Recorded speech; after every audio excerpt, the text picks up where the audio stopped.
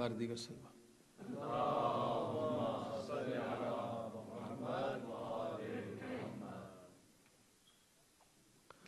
دوبارہ سلوات پڑھیں گے انشاءاللہ۔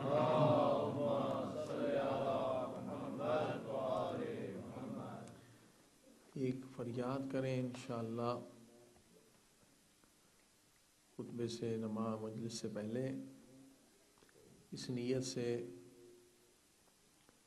خصوصاً یہ پارا چنار ڈیر اسماعیل خان، جو مسلسل قتل عام ہو رہا ہے مومنین کا، کہ امام زمانہ سے فریاد کریں کہ یہ جلد از جلد دہشت گرد جو ہے ان کا خاتمہ ہو جائے۔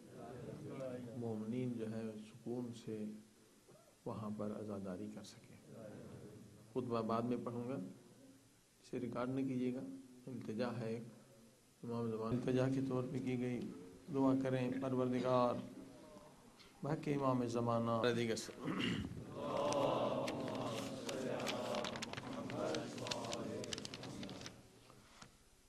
دیگر سلوات۔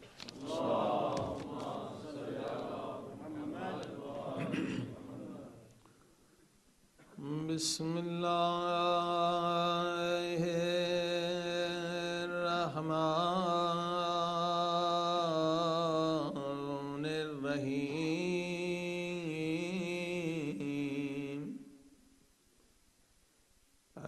الحمد لله رب العالمين.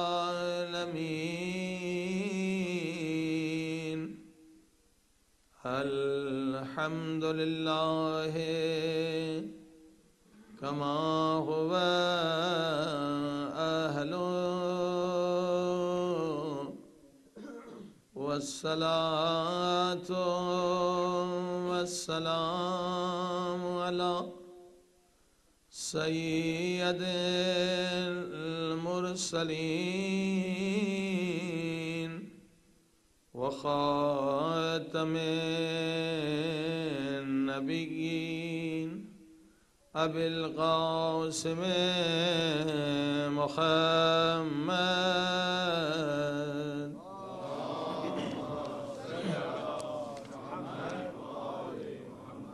وآله يبين الطاهرين المعصومين.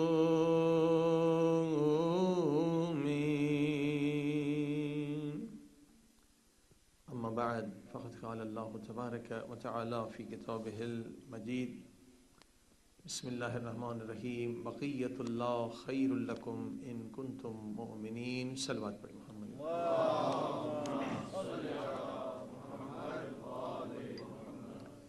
معزز سامعین، جو آج کے حالات آپ دیکھ رہے ہیں، سب سے بدترین حالات یہ مسلمانوں کے لیے ہیں کہ ہر طرف مسلمان کا خون پانی کی طرح بہہ رہا ہے اور مسلمان بھی بدنام ہو رہا ہے، مسلمان ہی کا نقصان ہو رہا ہے۔ جان بھی مسلمان کی تباہ ہو رہی ہے اور بدنام بھی مسلمان ہو رہا ہے۔ ایک عالمی سازش ہے، خطرناک سازش ہے۔ جیسے آج آپ نے سنا کہ اتنے بہت سارے بے گناہ لوگ جو ہیں، وہ ڈیرہ اسماعیل خان میں شہید ہو گئے۔ اسی طرح سے کازمین میں کچھ مومنین شہید ہو گئے۔ یہ دہشت گردی کا جو نتیجہ ہے، اس کا نقصان اہل اسلام کو مل رہا ہے اور فائدہ اسلام کے دشمنوں کو مل رہا ہے۔ ہم سب کی اخلاقی، شرعی ذمہ داری ہے۔ کہ اپنی اپنی جگہ پر ہم کوشش کریں کہ دہشت گردی کو روکا جائے۔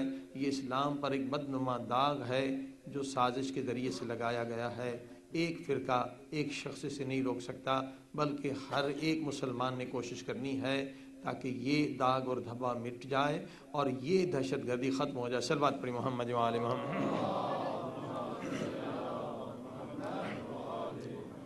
جیسے کہ آپ سن رہے ہیں کہ دہشت گردی کیوں پیدا ہوتی ہے؟ یہ جہالت کی پیداوار ہے، تعصب کی پیداوار ہے، فرقہ پرستی کی پیداوار ہے۔ اگر جہالت کو ختم کیا جائے، تبھی دہشت گردی ختم ہوتی ہے۔ جہالت عزیزان گرامی جب تک ختم نہیں ہوگی، فرقہ پرستی کی لانت جب تک ختم نہیں ہوگی، تب تک مسلمان معاشروں سے یہ دہشت گردی بھی ختم نہیں ہو سکتی۔ سلوات پڑھی محمد عالم۔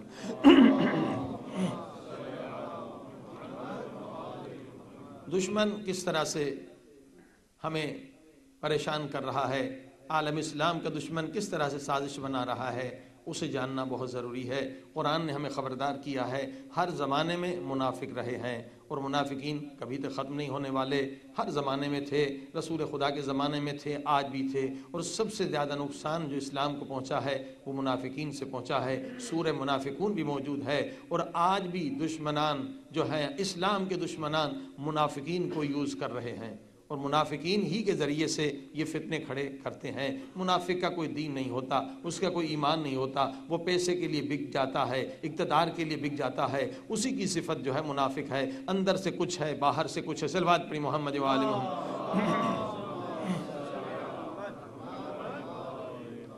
اور اگر اسلام کی تاریخ کا مطالعہ کریں تو شروع سے دو منافقین جو اسلام کے اندر موجود ہیں۔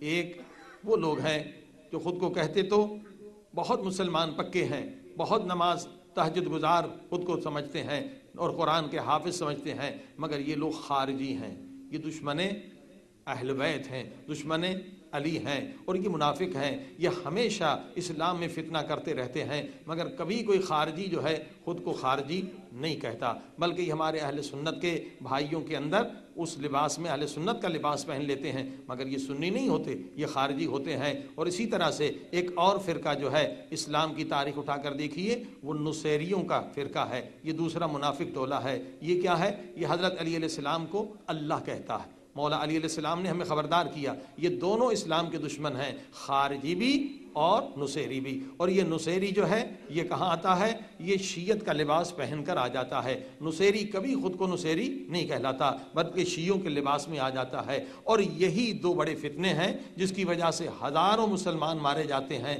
ہزاروں شیعہ مارے جاتے ہیں، ہزاروں سنی مارے جاتے ہیں۔ سلوات پڑھی محمد وال محمد۔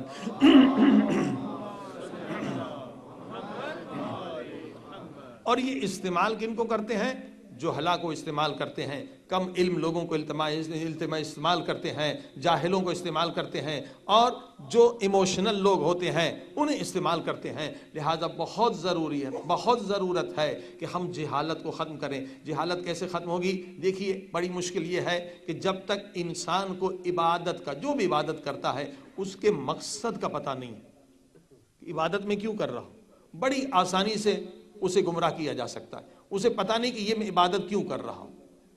نہ مقصد کا پتہ ہے نہ فلسفے کا پتہ ہے، نہ تاریخ کا پتہ ہے۔ ایسا مسلمان بڑی آرام سے اغوا ہو سکتا ہے۔ یعنی جتنی تیزی سے آپ کہیں جائیں گے، اگر آپ کو ذرا سا پھیر دیا جائے منزل سے۔ راستہ مثلا آپ کا جو ڈائریکشن ہے، وہ ایسٹ کی طرف آپ کی منزل ہے۔ جس شہر پہنچنا چاہتے ہیں، لیکن ذرا سا ڈائریکشن کو آپ بدل دیں، تو جتنی تیزی سے جائیں گے، اتنا منزل سے دور ہوتے چلے جائیں گے۔ بالکل اسی طرح سے ہے۔ جو بھی عبادت آپ کر رہے ہیں، اگر آپ کو مقصد کا پتہ نہیں، فلسفے کا پتہ نہیں، تاریخ کا پتہ نہیں شیطان چاہے انسان کی شکل میں ہو، جن کی شکل میں، آرام سے آپ کو ٹرن کر دے گا، ذرا سا موڑ دے گا اور آپ نے مقصد سے دور ہوتے چلے جائیں گے۔ سلوات پڑی محمد وآل محمد۔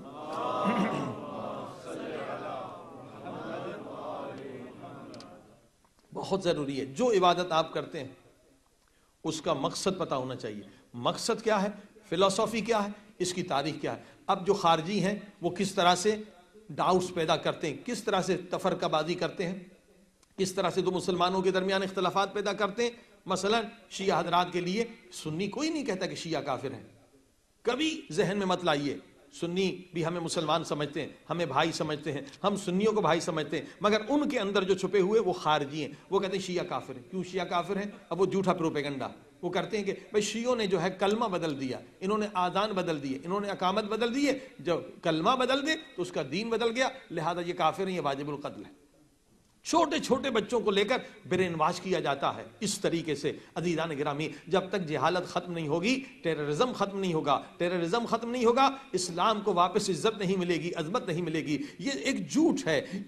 اصل میں ٹیررزم کی بقا جھوٹ پر ہے، پروپیگنڈا پر ہے، جہالت پر ہے۔ کیا کہتے ہیں؟ اپنے لوگوں کو کہ دیکھو یہ علی ولی آزان میں دیتے، انہوں نے آزان بڑھا دی، اپنا دین نیا بنا لیا۔ عزیزان گرامی، یاد رکھیے، ہم سنی بھائیوں کو بتانا چاہتے ہیں، یہ جھوٹ پروپیگنڈا میں کوئی مسلمان نہ آئے کیونکہ ہم نے آزان نہیں بدلائی، بلکہ رسول خدا کے زمانے میں بھی تاریخ اٹھا کر دیکھیے، حدیث اٹھا کر دیکھیے، کلمہ میں علی ولی اللہ تھا، ہم نے نہیں بنایا، بلکہ آپ قرآن اٹھا کر دیکھیے، سورہ معدہ اٹھائیے، سورہ معدہ قرآن کا پانچواں سورہ ہے اور پچپن اس کی آیت ہے، انما ولیکم اللہ اللہ فرماتا ہے کہ میں اللہ تمہارا ولی ہوں و رسول میرا رسول ولی ہے، والذین آمن الذین یقیمون الصلاۃ و یؤتون الزکات و هم راکعون، اور وہ صاحبان صاحبان ایمان تمہارے ولی ہیں جو حالت رکوع میں زکات دیتے ہوئے نظر آئیں۔ تمام اہل سنت کے مفسرین نے لکھا در منصور، یہ بڑی تفسیر ہے، تفسیر کبیر، سب سب نے لکھا کہ یہ آیت حضرت علی کی شان میں ہے۔ یعنی سارے اہل سنت کے علماء حضرت علی کو ولی اللہ پر سمجھتے ہیں۔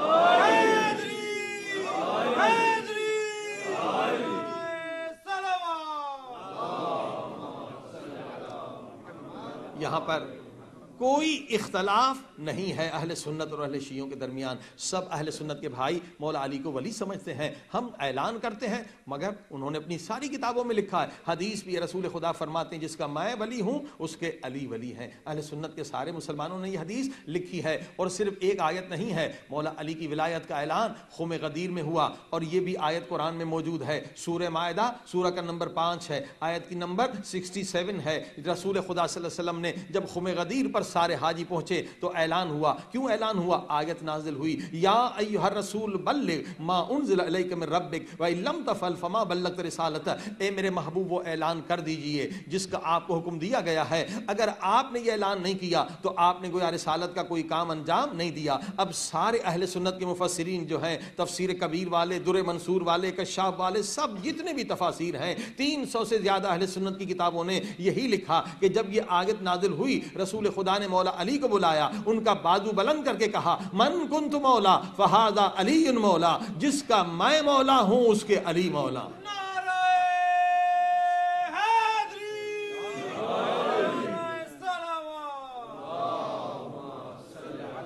لہذا آپ دیکھ اس میں کوئی اختلاف نہیں ہے۔ یہ خارجیوں کا ایک پروپیگنڈا ہے۔ ہم بھی علی کو ولی سمجھتے ہیں اہل سنت کے بھائی بھی علی کو ولی سمجھتے ہیں، ہم اعلان کرتے ہیں، وہ کتابوں میں لکھتے ہیں، لہذا کوئی اختلاف نہیں۔ اب دوسرا اختلاف کیسے پیدا کیا جاتا ہے؟ یہی خارجی حضرات جو ہیں، وہ کہتے ہیں کہ جناب شیعہ جو ہیں کافر ہیں۔ کیوں کافر ہیں؟ اس لیے کہ یہ ائم معصومین کو اپنے بارہ اماموں کو سمجھتے ہیں کہ یہ شفاعت کر سکتے ہیں۔ جبکہ شفاعت جو ہے، صرف خدا کے ہاتھ میں ہے۔ یا نبی کر سکتے ہیں، مگر امام شفاعت نہیں کر سکتے، لہذا شیعہ کافر ہیں۔ میں نے بہت ساری آیتیں پچھلی مجلس میں بتائی تھی، لیکن آج ایک دو کی طرف اشارہ کر دوں کہ یہ بھی ایک جھوٹا پروپیگنڈا ہے کہ شفاعت صرف انبیاء کر سکتے ہیں اور امام نہیں کر سکتے۔ عزیزان گرامی آپ آیت الکرسی سبھی جانتے ہیں، آیت الکرسی میں آیت ہے منزل لذی یشفع اندہ الا باذن نہ آگے کوئی نبی کا ذکر ہے، نہ پیچھے کسی نبی کا ذکر ہے، نہ کسی رسول کا ذکر ہے، صاف آیت کہہ رہی ہے کہ جسے اللہ اجازت دے، چاہے نبی ہو یا غیر نبی ہو، وہ شفاعت کر سکتا ہے۔ سلوات پڑھی محمد وآل محمد۔ اور دوسری آیت سور توحہ قرآن کا سورہ ہے، بیسواں نمبر، ایک سو نو آیت ہے یوم ازن لا تنفو شفاعت الا من ازن لہ الرحمن ورضی لہو کولا قیامت کے دن وہ شفاعت کر سکتا ہے کون؟ جس سے اللہ راضی ہو اور جس کو اللہ نے اجازت دی ہو۔ یہاں پر بھی نبی کا نام نہیں، رسول کا نام نہیں۔ جس سے بھی اللہ راضی ہو جائے اور جس کو بھی اللہ اجازت دے دے، وہ شفاعت کر سکتا ہے۔ لہذا یہ بھی جھوٹا پروپیگنڈا ہے۔ برین واش کیا جاتا ہے۔ چھوٹے چھوٹے بچوں کو لے کر کہ دیکھو شیعہ کافر ہیں، شیعہ کافر ہیں، کیونکہ یہ شفاعت کو مانتے ہیں۔ اور جو بھی اہل بیت کی شفاعت کو مانے، وہ کافر ہے قرآن کہہ رہا ہے، نبی بھی شفاعت کر سکتے ہیں۔ اور جو اللہ کے نیک بندے بندے ہیں، جن سے اللہ راضی ہو جائے، وہ بھی شفاعت کر سکتے ہیں۔ اور جنہیں اللہ اجازت دے دے، وہ بھی شفاعت کر سکتے ہیں۔ سلوات پڑھی محمد وآل محمد۔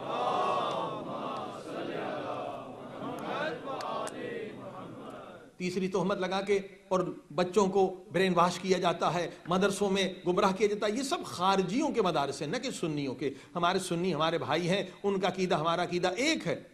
مگر یہ اسی لباس میں چھپے ہوئے رہتے ہیں۔ عزیزان گرامی، کہتے کہ شیعہ کافر ہیں۔ کیوں شیعہ کافر ہیں؟ کہ یا علی مدد کہتے ہیں۔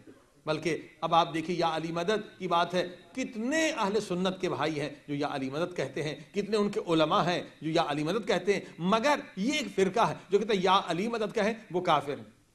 ایسا نہیں ہے کہ یا علی مدد کہنے والا کافر ہے، یا علی مدد قرآن سے ثابت ہے، حدیث سے ثابت ہے۔ آپ سورہ نمل اٹھا کر دیکھیے، ستائیسویں سورہ ہے قرآن مجید کا۔ ستائیسواں سورہ، ٹوئنٹی سیون سورہ کا نمبر۔ سورہ نمل ہے، حضرت سلیمان اللہ کے نبی ہیں، کہہ رہے ایکم یاتینی بے ارشہا کون ہے جو میری مدد کرے؟ تخت بلکیش لے کر آئے۔ بھئی اللہ کے نبی تھے نا، طاقت تھی، خود کیوں نہیں لے کر آئے؟ دوسروں سے مدد کیوں مانگ رہے ہیں؟ تو پتہ یہ چلا کہ دوسروں سے مدد مانگنا شرک نہیں ہے۔ اللہ کے ولی سے مدد مانگنا شرک نہیں ہے۔ کال الذی عنده علم من الكتاب. انا آتی کبھی قبل ان يرتد الیک طرفک.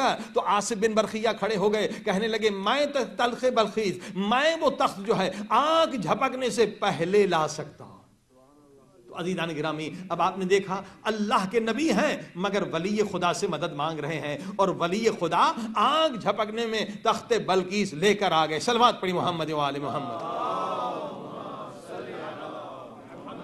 لہذا یہ بھی برین واش کیا جاتا ہے تاکہ تفرقہ بازی ہو، تاکہ نفرت ہو، مسلمان لڑے اور فائدہ کس کا ہو؟ اسلام کے دشمنوں کا۔ یا علی مدد، قرآن سے ثابت ہے، حدیث سے ثابت ہے۔ میں ایک اشارہ کر دوں، جنگ احد کا واقعہ۔ مدارج النبوہ اہل سنت کی بہت بڑی کتاب ہے۔ اور اسی طرح سے شیخ عبدالحق محدث دہلوی بڑے بڑے علماء لکھتے ہیں کہ جنگ احد میں جب رسول خدا کو کافر قتل کرنا چاہتے تھے، تو اس وقت رسول خدا نے کیا فرمایا؟ فرمایا، یا علی، مرا از ان جماعت نگہدار، حق نصرت نصرت بجا آور کہ وقت نصرت اس، کیونکہ یہ فارسی زبان میں کتاب لکھی گئی ہے، لکھا کہ حضرت رسول خدا نے فرمایا، اے علی، مجھے کافروں کی جماعت سے بچا اور آج مدد کا حق ادا کر دے کہ مدد کی ضرورت ہے۔ تین جملے ہیں نا، اسے مختصر کہیں۔ تو رسول خدا نے یہی تو کہا کہ یا علی مدد سلوات پڑے محمد وآل محمد۔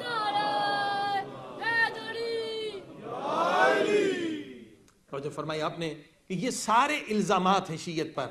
شیعہ کے خلاف ایک جھوٹا پروپیگنڈا ہے تاکہ دو مسلمانوں کے بڑے فرقوں میں نفرت کی دہلیز، نفرت کی ایک آگ پھیلا دی جائے۔ عزیزان گرامی، ہم سب مسلمان ہیں، ہم سب کا عقیدہ ایک ہے، مگر یہ منافقین ہیں جو مسلمانوں کو لڑاتے ہیں۔ اور پھر چوتھا الزام شیعت پر کیا ہے؟ کہ شیعہ جو ہے اصحاب کو برا بھلا کہتے ہیں۔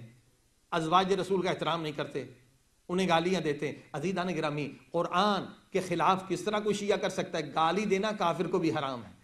مسلمان کو کیسے گالی دے سکتے ہیں؟ کافر کو بھی گالی دینا حرام ہے۔ اور ازدواج رسول کا احترام مولا علی نے کیا۔ آپ دیکھیے، حضرت عائشہ جنگ میں آئیں، مگر اس کے بعد مولا علی نے احترام کے ساتھ، حجاب کے ساتھ، پردے کے ساتھ یعنی تمام وہ عورتیں تھیں جنہوں نے مردانہ لباس پہن رکھا تھا، انہیں واپس حفاظت سے پہنچایا۔ حضرت عائشہ نے کہا، حضرت علی نے بہت اچھا کیا، مگر ایک بات اچھی نہیں کی۔ کہا، وہ کیا؟ کہ آپ لوگ نامحرم ہیں، سب نے ٹوپیاں اتاری، کہا، ہم سب عورتیں ہیں۔ اس طرح سے حضرت علی نے حرم رسول کا خیال رکھا تو کیسے کوئی شیعہ ہو سکتا ہے جو ازدواج رسول کی توہین کرے؟ عزیزان گرامی، یہاں بھی خبردار رہنے کی ضرورت ہے۔ یہاں ہمارے اندر جو نصیری ہیں، وہ ازدواج رسول کی توہین کرتے ہیں، مگر شیعہ کبھی بھی توہین نہیں کر سکتا۔ مگر ہمیں بھی پہچاننا چاہیے، کیونکہ وہ بھی ہمارے اندر چھپ جاتے ہیں۔ اور اصحاب رسول، کسی بھی اصحاب رسول، جو رسول خدا کے وہ سچے صحابی، جنہوں نے اپنی جانوں کو قربان کر دیا، اپنے مالوں کو قربان کر دیا، اپنے بچوں کو قربان کر دیا۔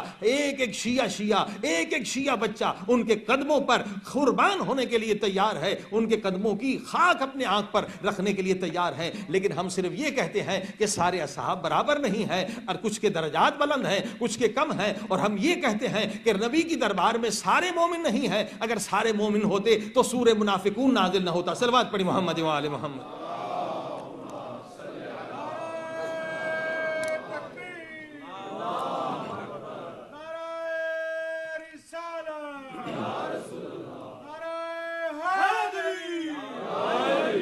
ایک جھوٹا الزام ہے؟ کیوں؟ قرآن کے خلاف ہے۔ ہم کسی کو کیسے گالی دے سکتے ہیں؟ خدا قرآن میں کہتا ہے، کسی کے جھوٹے خدا کو برا بھلا مت کہو، ورنہ کوئی تمہارے سچے خدا کو برا بھلا کہے۔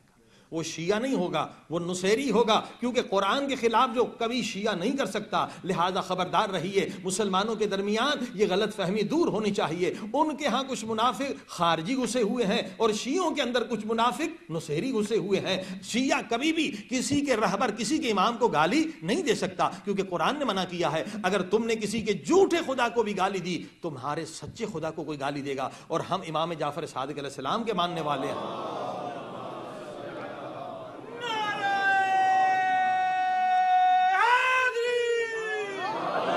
اور امام جعفر صادق علیہ السلام والسلام فرماتے ہیں کہ خبردار خبردار، اگر تم نے کسی کے بھی امام کو گالی دی اور اس نے پلٹ کر امام علی کو گالی دی تو مجرم تم ہو۔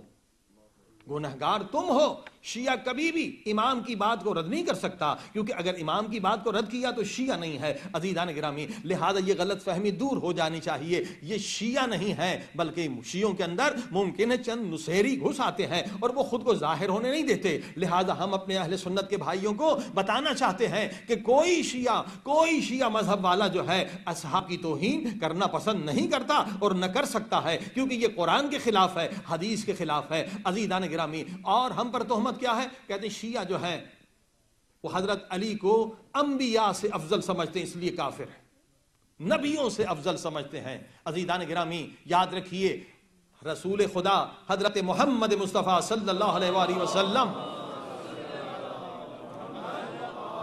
سارے نبیوں کے سردار نبی ہیں۔ اور مولا علی کہتے ہیں کہ میں سرکار محمد مصطفیٰ کے غلاموں میں سے غلام ہوں۔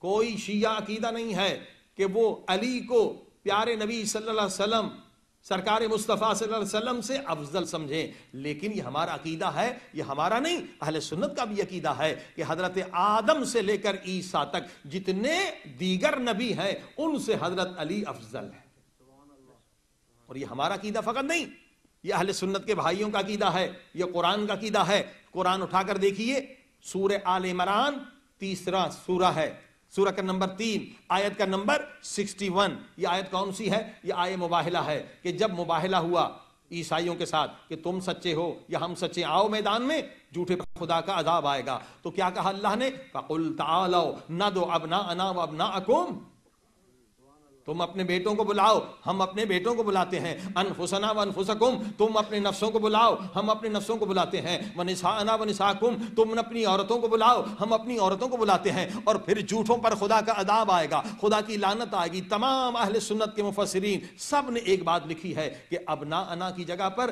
رسول خدا امام حسن حسین کو لے کر آئے۔ اور نفس کی جگہ پر رسول خدا مولا علی کو لے کر آئے اور نسانا خواتین میں سے رسول خدا صرف فاطمہ زہرا کو لے کر آئے عدیدان گرامی ذرہ برابر اختلاف نہیں ہے کہ رسول خدا نے مباہلہ میں مولا علی کو اپنا نفس کہا ہے قرآن نے کہا ہے کہ علی نفس رسول ہے علی کون ہے نفس رسول ہے اور ہمارے رسول کون ہے وما ارسلنا کا اللہ رحمت للعالمین ہمارے رسول عالمین کے رسول ہیں سارے نبیوں کے سردار نبی ہیں تو جس طرح سے ہمارے نبی سارے نبیوں سے افضل ہیں تو ہمارے نبی کا چہرہ بھی سارے نبیوں سے افضل ہے، ہمارے نبی کی آنکھ بھی سارے نبیوں کی آنکھوں سے افضل ہے، ہمارے نبی کی زبان بھی سارے نبیوں کی زبان سے افضل ہے، ہمارے نبی کا دل بھی سارے نبیوں کے دلوں سے افضل ہے۔ تو اسی طرح سے ہمارے نبی کا نفس بھی سارے نبیوں کے نفسوں سے افضل ہے۔ علی نفس رسول ہے سلوات پڑی محمد وآل محمد۔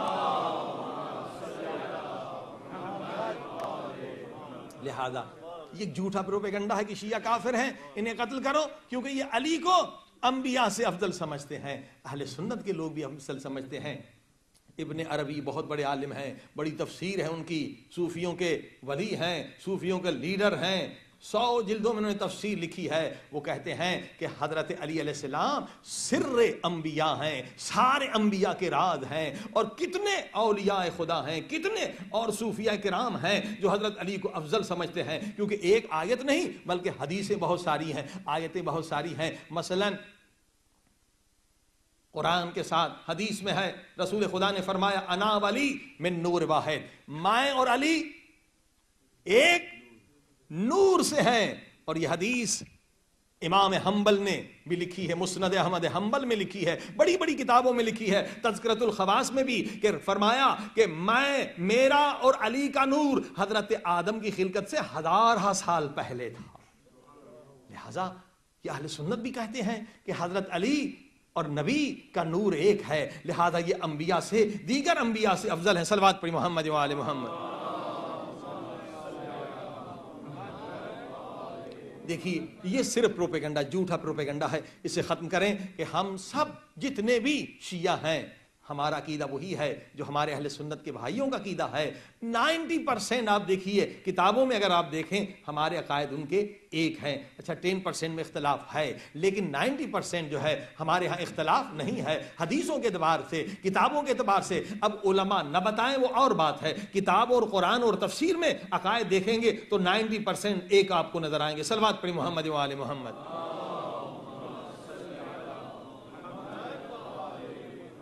اور یہ غلط ہے کہ ہم اصحاب کو نہیں مانتے۔ ہم نبی کے سچے صحابیوں کے مسائل پہ روتے ہیں۔ مثلا اہل سنت کے لوگ آتے ہیں، جو انہیں پروپیگنڈا کیا گیا کہ اصحاب کو نہیں مانتے، کہا مجلس میں آتے ہیں، حیران ہو جاتے ہیں کہ اتنا ہم اصحاب پہ نہیں روتے، جتنا شیعہ روتے ہیں۔ ابو ذر غفاری کی بیٹی کا جب مسائل پڑھا جاتا ہے تو ابو ذر غفاری کون ہے نبی کے صحابی ہے نا؟ تو شیعہ دھاڑے مار مار کے روتے ہیں۔ اور یاد رکھیے، یہ بھی غلط پروپیگنڈا ہے کہ اہل سنت کے بھائی امام علی کو نہیں مانتے، اہل بیت کو نہیں مانتے۔ ہم نے خود دیکھا ہے کہ مولا علی کے فضائل پڑھنے والے کو کس طرح سے احترام کیا جاتا ہے۔ کوئی شعر پڑھتا ہے، جب اس مولا علی کے شان میں ربائی پڑھتا ہے۔ مثلا یہی یو کے میں میں نے دیکھا ایک پروگرام کہ جناب جو اہل سنت کے اٹھ اٹھ کے انہیں پچاس پچاس پاؤنڈ دے رہے تھے، سو سو پاؤنڈ دے رہے تھے۔ محبت علی نہیں ہوتی تو کیسے سو سو پاؤنڈ دیتے اسے؟ ان کے دل میں بھی محبت ہے۔ یہ صرف منافقین نے ہمیں دور کیا ہے۔ سلوات پڑی محمد وآل محمد۔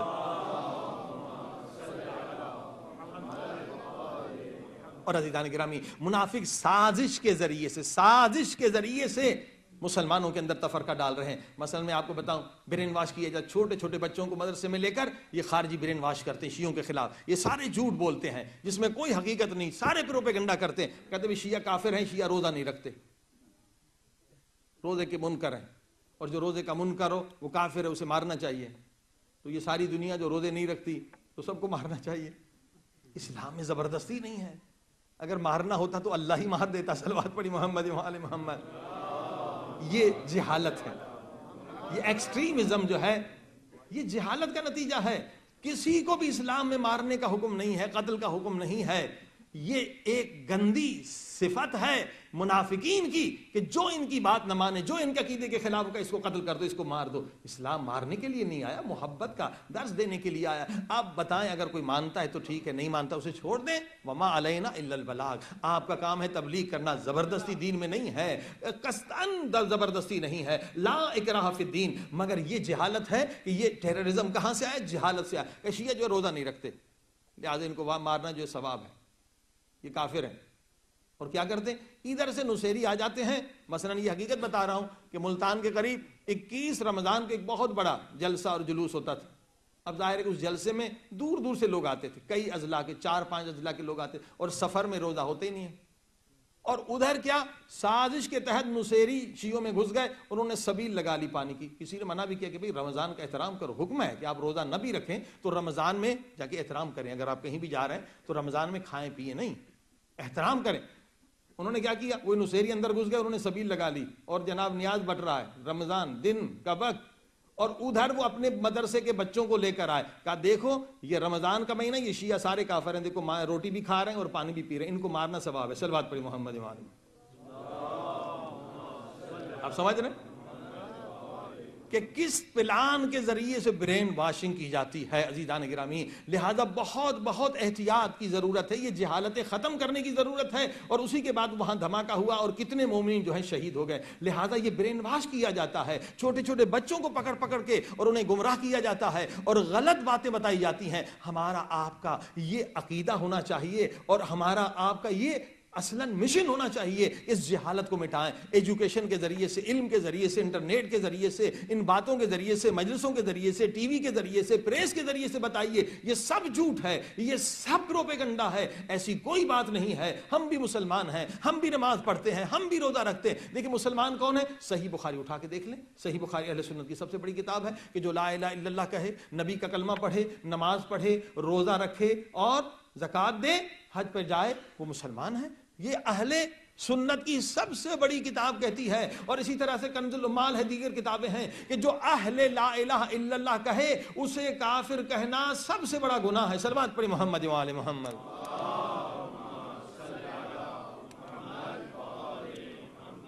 ڈس یونٹی کی وجہ سے، ایک دوسرے کو کافر کافر کہنے کی وجہ سے، آج مسلمانوں کو کتنا لاس ہوا ہے۔ ارب ہا ڈالر سے زیادہ نقصان ہوا ہے۔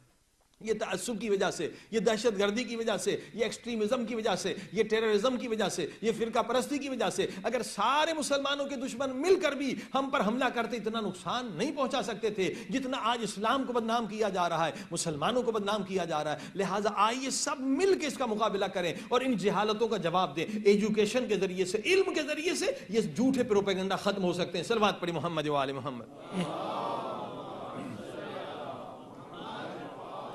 یاد رکھیے، کبھی جوش میں نہ جایا کریں۔ اہل سنت کے بھائی بھی ازادار ہیں، ہمارے ساتھ روتے ہیں۔ حتیٰ کہ کتنے پاکستان کے شہروں میں ماتم بھی کرتے ہیں، کچھ ماتم نہیں کرتے۔ اب زبردستی نہیں ہے کہ انہیں ہم کہیں ماتم بھی کریں، روتے ہیں۔ اکثر جو ہے مثلا آپ سیون شریف، ملتان، مٹیاری، کتنے شہر ہیں پاکستان میں جہاں سارے اہل سنت کے ساتھ مل کے جلوس نکلتے ہیں، بہترین نظرداری ہوتی ہے، نظر نیاز بانٹتے ہیں۔ مگر یہ جو ہے خارجی ہیں، وہ خارجی کیا؟ ان کا کام ہے فتنہ کرنا۔ وہ کہتے ہیں شیعہ کافر ہیں بدتی ہیں، کیونکہ یہ روتے ہیں، شہید تو زندہ ہوتے ہیں۔ امام حسین شہید ہو گئے، وہ زندہ ہیں اور زندہ، جب زندہ ہے شہید، تو اس میں تو خوشی کرنی چاہیے، رونے کی کیا بات ہے؟ لہذا یہ رونا بدت ہے یہ رونے والے کافر ہیں۔ یعنی کافر سے تو کم ان کا فتوہ نہیں ہوتا، یا کافر یا قتل۔ سلمات پڑی محمد یہ ایکسٹریمزم ہے۔ جو بھی بات، یہ کافر ہے۔ جو بھی بات، اسے قتل کر دو۔ یہ ایکسٹریمزم ہے، یہ جہالت۔ اسے ختم کرنا ہے۔ عزیزان گرامی، رونا سنت نبی ہے، سورہ یوسف اٹھا کر دیکھیے۔ حضرت یعقوب علیہ السلام کو پتا تھا کہ میرے بیٹے زندہ ہے، مگر قرآن میں کہہ رہا ہے فَبِيَزَّتْ عَيْنَاهُ مِنَ الْخُزْنِ اتنا روئے اتنا روئے اتنا روئے کہ آنکھیں سفید ہو گئی آنکھ کی روشنی کم ہو گئی۔ تو پتا یہ چلا کہ زندہ کے لیے رونا بدت نہیں، بلکہ نبی کی سنت ہے۔ سلوات پڑی محمد و آل محمد۔ پھر یہ ہم پر تہمت لگاتے ہیں کہ شیعہ جو ماتم کرتے ہیں، یہ ماتم کرنا بدتی ہے، یہ کافر ہے یہ شرک ہے، یہ فلاں ہے فلاں ہے عزیزان گرامی، ماتم بھی قرآن سے ثابت ہے۔ زبردستی نہیں ہے کہ سب لوگ ماتم کریں، لیکن اعتراض کرنا غلط ہے۔ ماتم قرآن سے بھی ثابت ہے، حدیث سے بھی ثابت ہے۔ سور زاریات دیکھیے۔ فبشروح بغلام علیم حضرت ابراہیم کو فرشتوں نے بشارت دی کہ تمہیں بیٹا ہوگا۔ بہت بوڑھے ہو گئے تھے۔ اتنے میں ان کی بیوی آ گئی۔ فسکت وجہ فسکت وجہ سارے ترجمے اٹھا کر دیکھ لی۔ شیعہ سنی، سب نے یہی ترجمہ کیا کہ پھر پیٹا اس کی بیوی نے اپنے منہ کو فسکت وجہ وقالت عجوز الحکیم، کہنے لگی، میں تو بوڑھی ہو گئی ہوں، اب مجھے بیٹا کیسے ہو سکتا ہے؟ اولاد کیسے ہو سکتی ہے؟ اب دیکھا، نبی کی بیوی پیٹ رہی ہے، ماتم کر رہی ہے۔ اگر ماتم کرنا گناہ ہوتا تو نبی روک دیتے، کیونکہ جو کام نبی کے سامنے ہو، نبی نہ روکیں وہ نبی کی سنت بن جاتی۔ ٹھیک ہے؟ آپ نے دیکھا کہ ماتم کرنا بھی ثابت ہے۔ حدیث سے ثابت ہے، قرآن سے ثابت ہے، عزیزان گرام اسی طرح سے سلوات پڑھ دے محمد وال محمد۔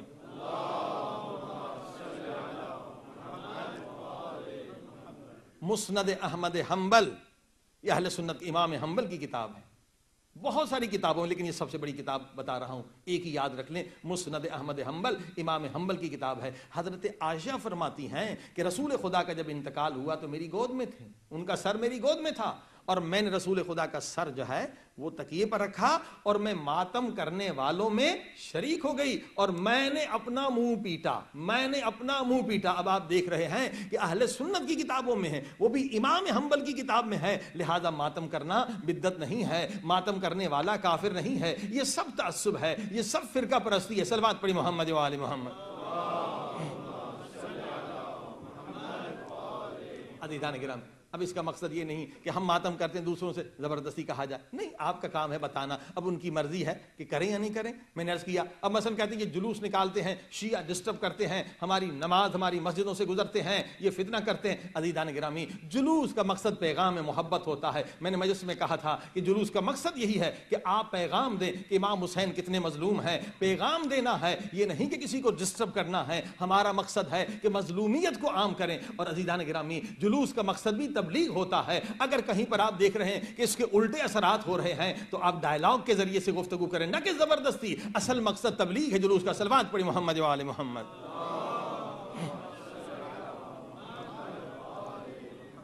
اب یہ ہم پر دوسرا اعتراض ہوتا ہے، شیعہ علم بناتے ہیں۔ علم ان کا بت ہے، انہیں سجدہ کرتے ہیں۔ یہ تابوت بناتے ہیں، یہ مشرق ہیں۔ یہ زلجنا بناتے ہیں۔ یہ اسے سجدہ کرتے ہیں، یہ مشرق ہیں۔ یاد رکھیے، کوئی بھی شیعہ علم کو خدا نہیں مانتا۔ کوئی بھی شیعہ سجدہ نہیں کرتا علم کو۔ ممکن ہے کہ کوئی نصیری کرے۔ شیعہ مذہب میں حرام ہے، سجدہ صرف خدا کو ہے۔ یہ ہم پر تہمت ہے۔ نہ ہم علم کو سجدہ کرتے ہیں، نہ ہم زلجنا کو سجدہ کرتے ہیں، ہم نہ تابوت کو سجدہ کرتے ہیں۔ مگر علم بنانا کوئی ناجائز کام نہیں ہے بدت نہیں ہے۔ رسول خدا نے علم دیا ہے، رسول کی سنت ہے۔ خیبر میں کہا کہ کل اسے علم دوں گا جو مرد ہوگا۔ محب خدا ہوگا۔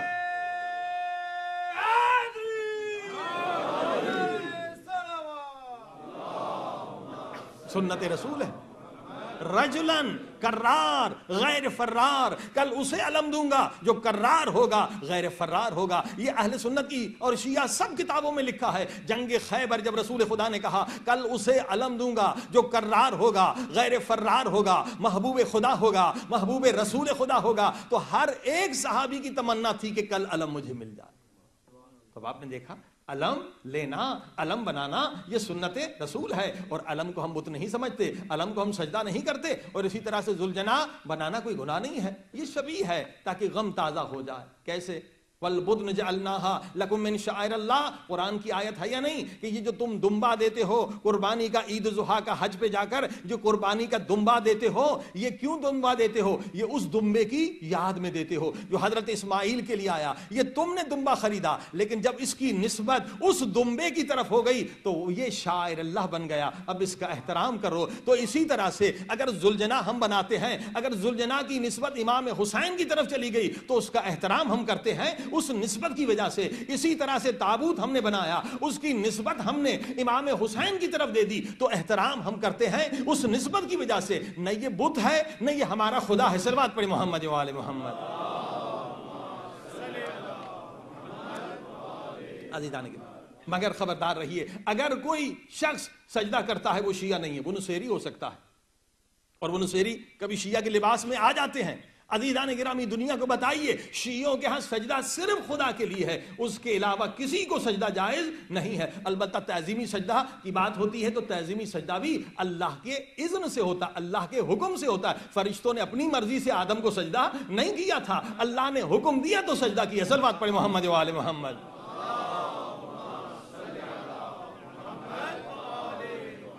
اور جو سجدے کی بات کرتے ہیں کہ یعقوب کے بیٹوں نے سجدہ کیا تو وہ جو بیٹے کوئی نیک تھوڑی تھے کہ ہم ان کی سنت کریں، وہ خود ظالم تھے۔ ظلمات پڑی محمد وآل محمد۔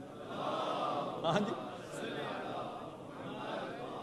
پیروی سنت کس کی کی جاتی ہے؟ جو معصوم ہو، جو پاک ہو، ظالم کی سنت نہیں کی جاتی۔ سلوات پڑے محمد وآل محمد۔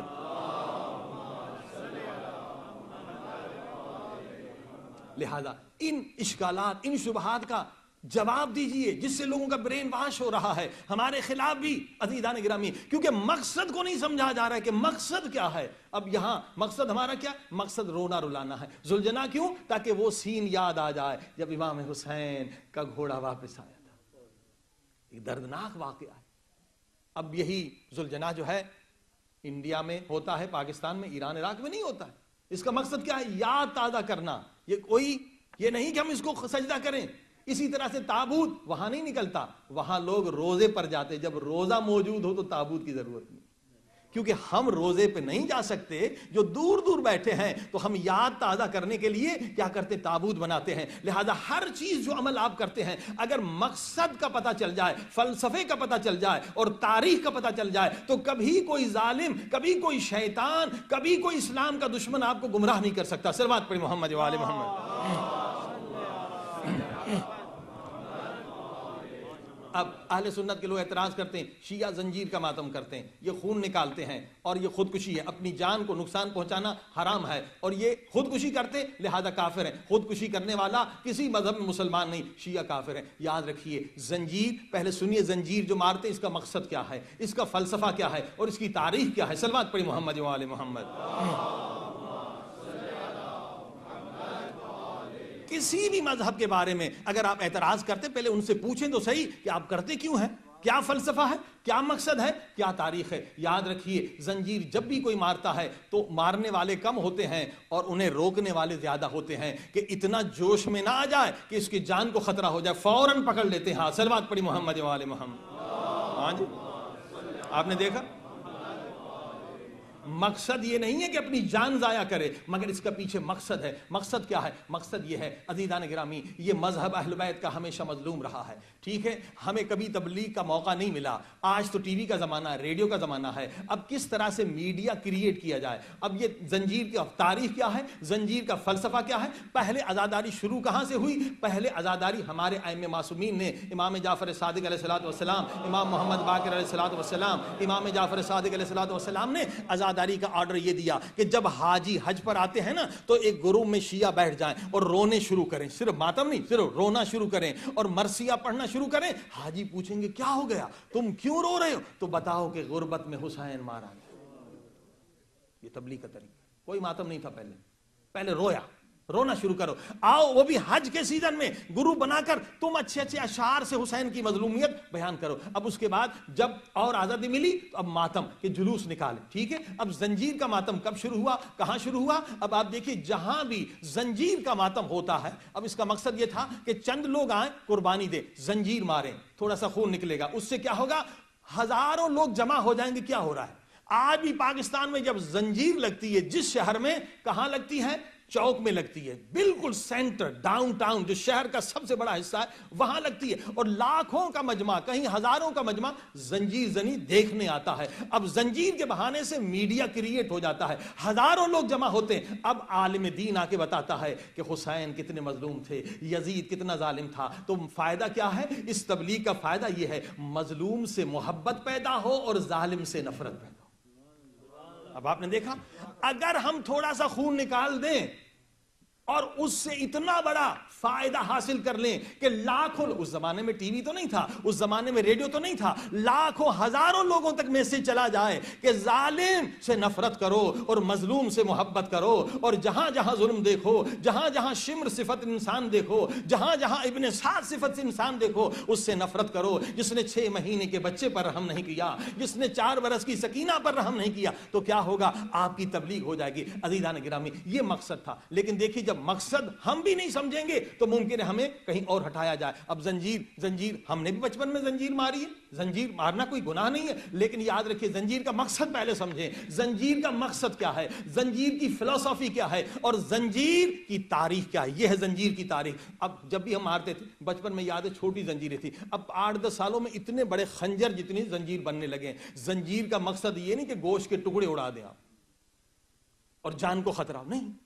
زنجیر کا مقصد ہے کہ میسج ایک میڈیا کریٹ ہو۔ اب حضرت آیت اللہ خامنئی کی جو تقریر ہے زنجیر کے بارے میں وہ کیا ہے؟ بالکل جو ابھی میں نے بتائی، وہی انہوں نے فرمایا تھا کہ زنجیر کے ذریعے سے مومنین نے قربانی دی، خون دیا اور میڈیا بنا اور تبلیغ ہوئی۔ کہا، لیکن اب جن جن ممالک میں یورپ اور خصوصاً امریکہ میں کیا ہوتا ہے کہ یہی فلم جو ہم زنجیر مارتے ہیں، اس کو ہمارے دشمنان اسلام ٹی وی پر دکھاتے ہیں اور کہتے ہیں یہ جنگلی ہیں، یہ وحشی ہیں، یہ ٹیررسٹ ہیں۔ یعنی اس کو ہمارے الٹا، ہمارے خلاف استعمال کرتے ہیں۔ تو جہاں پر زنجیر مارنے سے اگر پانچ چھ آدمی شیعہ ہوتے ہیں، تو یقیناً مانیے، مسلمان ہوتے ہیں تو یقیناً ماریے لیکن جہاں الٹا لوگ شیعت سے نفرت کریں، وہاں مارنا صحیح نہیں ہے۔ توجہ فرمائی۔ یہ حضرت آیت اللہ خامنی کی تقریر ہے۔ اب جو لوگ مقصد کو نہیں سمجھتے، وہ سمجھتے وہ دین یہی زنجیر مارنا ہے۔ نہیں عزیزان گرامی، زنجیر کا مقصد ہے تبلیغ۔ اور یاد رکھیے، زنجیر کا مقصد ہے کہ آپ وہاں پر مارے سرے عام مارے نہ کہ بند کمروں میں مارے بند کمرے میں مارنے کا تو فائدہ نہیں۔ زنجیر پاکستان میں جہاں بھی لگتی ہے، سڑک پہ لگتی ہے اور مین روڈ پہ لگتی ہے کہ اگر ہم خون کی قربانی دیں تو چار، پانچ، آٹھ، دس لوگ کم سے کم متوجہ ہو جائیں، ان کے دل میں رحم آ جائے۔ اب یہ جب مقصد کو انسان نہیں سمجھتا تو الٹا کر دیتا ہے کہ جو عبادت سڑک پہ کرنی ہے وہ بند کمرے میں کرتا ہے اور جو بند کمرے میں کرنی ہے وہ سڑک پہ کرنے لگتا ہے۔ بات پڑی محمد وال محمد۔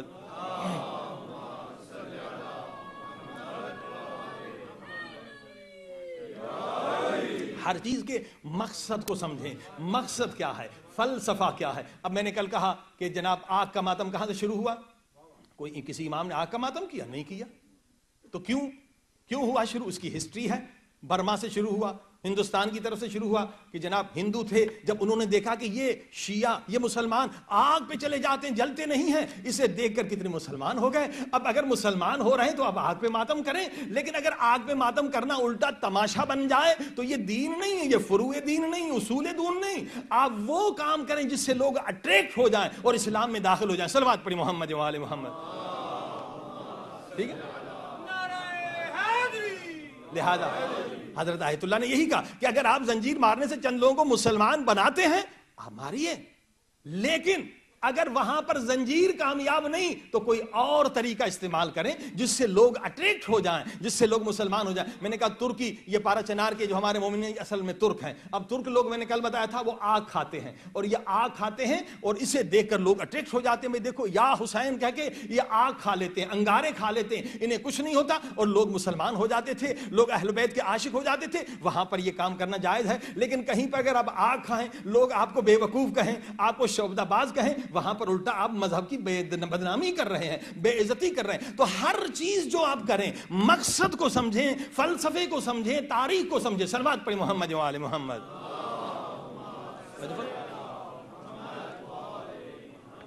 عزیزان کرام، اسی طرح سے ہم پر تہمت لگاتے ہیں کہ جناب یہ جو شیعہ ہوتے ہیں نا، ان کے پاکٹ میں، جیب میں ایک چھوٹا بت ہوتا ہے۔ وہ سجدے کا کو بت کہتے ہیں، جس پہ آپ نماز پڑھتے ہیں۔ اور یہ نماز جو پڑھتے ہیں نا، اللہ کو سجدہ نہیں کرتے کہ وہ اپنے بدھ کو سجدہ کرتے ہیں۔ سلوات پڑھی محمد جی، وآل محمد۔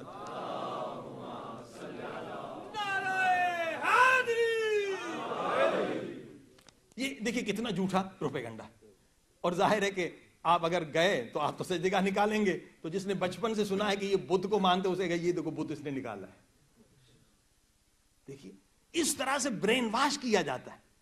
لہٰذا کئی علماء نے کہا کہ حج پر جائیں، آپ سجدے کا مت لے جائیں۔ کیونکہ اتنا اتنا جھوٹا پروپیگنڈا ہوا ہے کہ جو بھی دیکھے گا، آپ کو بت پرست سمجھے گا، مشرق سمجھے گا، آپ وہاں ٹیشو پر بھی سجدہ کر سکتے ہیں۔ ٹیشو پیپر جو سفید اس پر سجدہ کر سکتے ہیں۔ اب دیکھیں ہماری شرعی مسئلہ ہے کہ ہمارے ہاں کھانے، پینے والی چیزوں پر سجدہ نہیں ہو سکتا۔ خاک پر سجدہ۔ اور خاک پر سجدہ جو ہے، اہل سنت کے ہاں بھی ثابت ہے۔ صحیح مسلم میں ہے، سنن ابی داؤد میں ہے۔ لیکن عزیزان گرامی، یہ پبلک کو بتانا چاہیے، جو ہم کر رہے ہیں، وہ آپ کی کتابوں میں بھی موجود ہے۔ سلوات پڑی محمد وآل محمد۔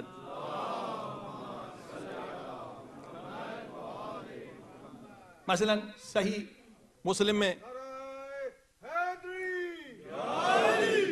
اہل سنت کی دوسری سب سے بڑی کتاب ہے، کتاب مساجد، باب ہے۔ اس میں لکھا ہے کہ اصحاب نے شکایت کی۔ جب ظہر کی نماز رسول خدا پڑھتے تھے تو دھوپ بہت زیادہ ہوتی تھی، جو ریتی تھی، گرم ہو جاتی تھی۔ زمین بڑی گرم ہو جاتی تھی۔ کہتے تھے، ہمارے ہاتھ بھی جلتے ہمارے پیشانی بھی جلتی ہے۔ تو کیا ہم کپڑا رکھ سکتے ہیں؟ کوئی اور چیز رکھ سکتے ہیں؟ کہ رسول خدا نے اس کی طرف توجہ نہ دی۔ اب وہ رسول جو رحمت للعالمین ہے، اگر جائز ہوتا تو وہ اجازت دے دیتے؟ کہ کوئی چیز رکھ لو۔ اچھا اب دوسری حدیث سنیں۔ یہ بھی کتاب الصلاح، سنن ابی داؤد سے ہے۔ کہ اصحاب فرماتے ہیں کہ جب بہت گرمی ہوتی تھی اور ہم نے نماز پڑھنی ہوتی تھی زہر کی، تو ہم چھوٹی چھوٹی پتھریاں جو ہیں، کنکریاں، وہ مٹھی میں لے لیتے تھے تاکہ وہ ٹھنڈی ہو جائیں، وہ ہم رکھتے تھے اور ان پر سجدہ کرتے تھے۔ اب آپ نے دیکھا کہ جو ہم کام کر رہے ہیں، وہی وہ کرتے تھے۔ کنکریاں رکھتے، ہم خاک اپنے ساتھ رکھتے تھے، اصحاب کرام چھوٹی چھوٹی کنکریاں رکھتے تھے۔ نہ انہوں نے غلط کیا، نہ ہم نے غلط کیا۔ سلوات پڑی محمد محمد۔ کیسے کیسے برین واش کیا جاتا ہے نا؟ کیسے ذہنوں کو خراب کیا جاتا ہے؟ عزیزان گرام یہ سب جہالت ہے۔ مقصد پتا ہونا چاہیے۔ جو چیز آپ کرتے ہیں، اس کا مقصد فلسفہ اور اس کی تاریخ پتا ہونی چاہیے۔ کیوں؟ ہم خاک شفا پر سجدہ کرتے ہیں۔ پر! اس کو نہیں کرتے، جس کو سجدہ کیا جاتا ہے، وہ سامنے رکھا جاتا ہے۔ یہ نہیں کہ اس پر سجدہ کیا جائے۔ بدھ پرس جو ہے بدھ پر سجدہ نہیں کرتے، وہ بدھ کو سامنے کرتے ہیں اور اس کو جھکتے ہیں۔ سلوات پڑی محمد آل محمد۔ ہاں جی؟ یہ سوچنے کی بات۔ تو اب اگر کوئی قالین پر سجدہ کر رہا ہے تو کیا قالین اس کو خدا مان رہا ہے؟ ہم خاک پر سجدہ کرتے ہیں۔ دیکھ کیسے بچوں کا ذہن خراب کرتے ہیں، لوگوں کا ذہن خراب کرتے ہیں۔ عزیزان گرام اسی لیے ان چیزوں کا جاننا بہت ضروری۔ اسی طرح سے دوسری ایک تہمت ہے ہمارے اوپر کہ جناب یہ شیعہ جو ہے نا، انہوں نے پانچ نمازوں کو تین نمازیں بنا دی۔ نمازوں کو بدل دیا۔ یہ تین نماز پڑھتے ہیں۔ کوئی شیعہ تین نمازیں نہیں پڑھتا، سب پانچ نماز پڑھتے لیکن ہم کٹھا پڑھتے ہیں۔ ظہر اثر کو ہم کٹھا پڑھتے ہیں، مغرب عشاء کو ہم کٹھا پڑھتے ہیں۔ اور یہ کٹھا پڑھنا جائز ہے، اہل سنت کی کتابوں میں جائز ہے۔ چلیے ویسے عام بتا دوں کہ جتنے بھی مسلمان حج پر جاتے ہیں، تو میدان عرفات میں شیعہ بھی، سنی بھی نماز ظہر اثر کٹھے پڑھتے ہیں۔ اصل بات پڑی محمد وآل محمد۔ اور صحیح مسلم میں بھی ہے، باب جمع بین سلاد اصل باب ہے ایک۔ کہ باہر مل کے نماز پڑھنا۔ اس میں لکھا ہے، بخاری میں بھی ہے، نماز کے اوقات کے چپٹر میں کہ رسول خدا نے بغیر کسی عذر کے یعنی بارش بھی نہ تھی، کوئی اور بھی مسئلہ بھی نہیں تھا، سفر بھی نہیں تھا، رسول خدا نے ظہر اور عصر کی نماز ملا کے پڑھی اور مغرب اور عشاء کی نماز بھی ملا کے پڑھی۔ یعنی یہ طریقہ جائز ہے۔ مگر عزیزان گرامی الگ الگ پڑھنا، اپنے ٹائم پہ پڑھنا، ہمارے ہاں بھی اس کا زیادہ ثواب ہے۔ سلوات پڑھی محمد محمد۔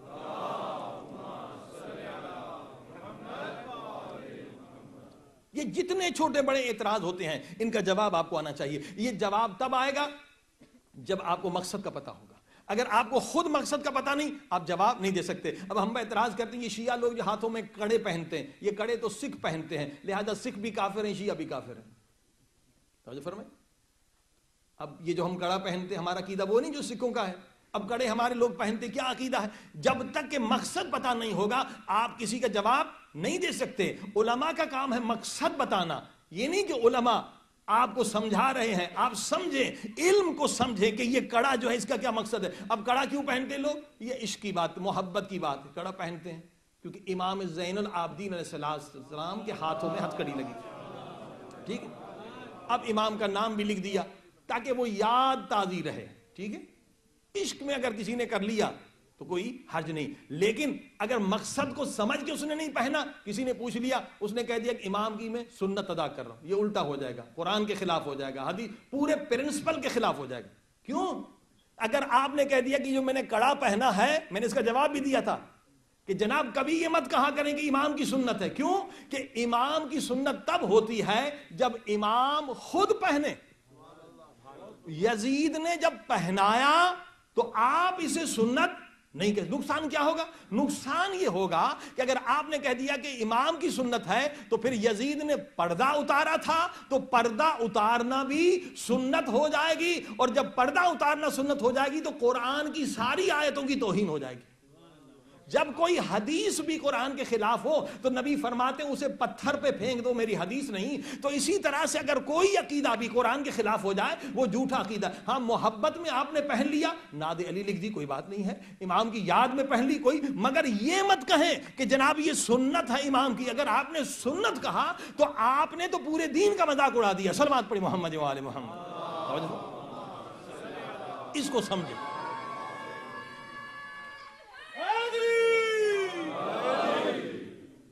اب بعض لوگ جو ہیں اس کا جواب دیتے ہیں، وہ ہم بھی جواب دیتے ہیں۔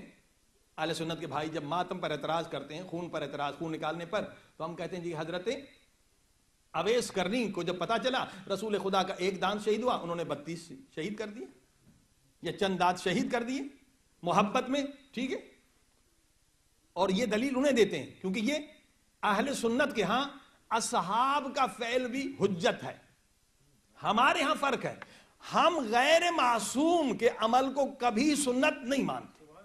شیعہ مذہب میں صرف معصوم کا عمل، جو گناہوں سے پاک ہو، ہم صرف اسے فالو کر سکتے ہیں۔ مثلا سلمان فارسی بہت بلند ہیں، بہت بلند صحاب ہیں۔ ابو ذر کو ہم بہت مانتے ہیں، مثلا صحاب کو ہم بہت مانتے ہیں، مگر ان کے فعل کو ہم سنت نہیں کہتے۔ ہم صرف معصوم کے عمل کو سنت کر سروات پڑی محمد محمد۔ ٹھیک ہے؟ ہم میں یہ فرق ہے۔ تو ہم اہل سنت کے لیے دلیل لاتے ہیں کہ دیکھو انہوں نے دان توڑ دیے، محبت میں توڑ دیے، عشق میں توڑ دیے۔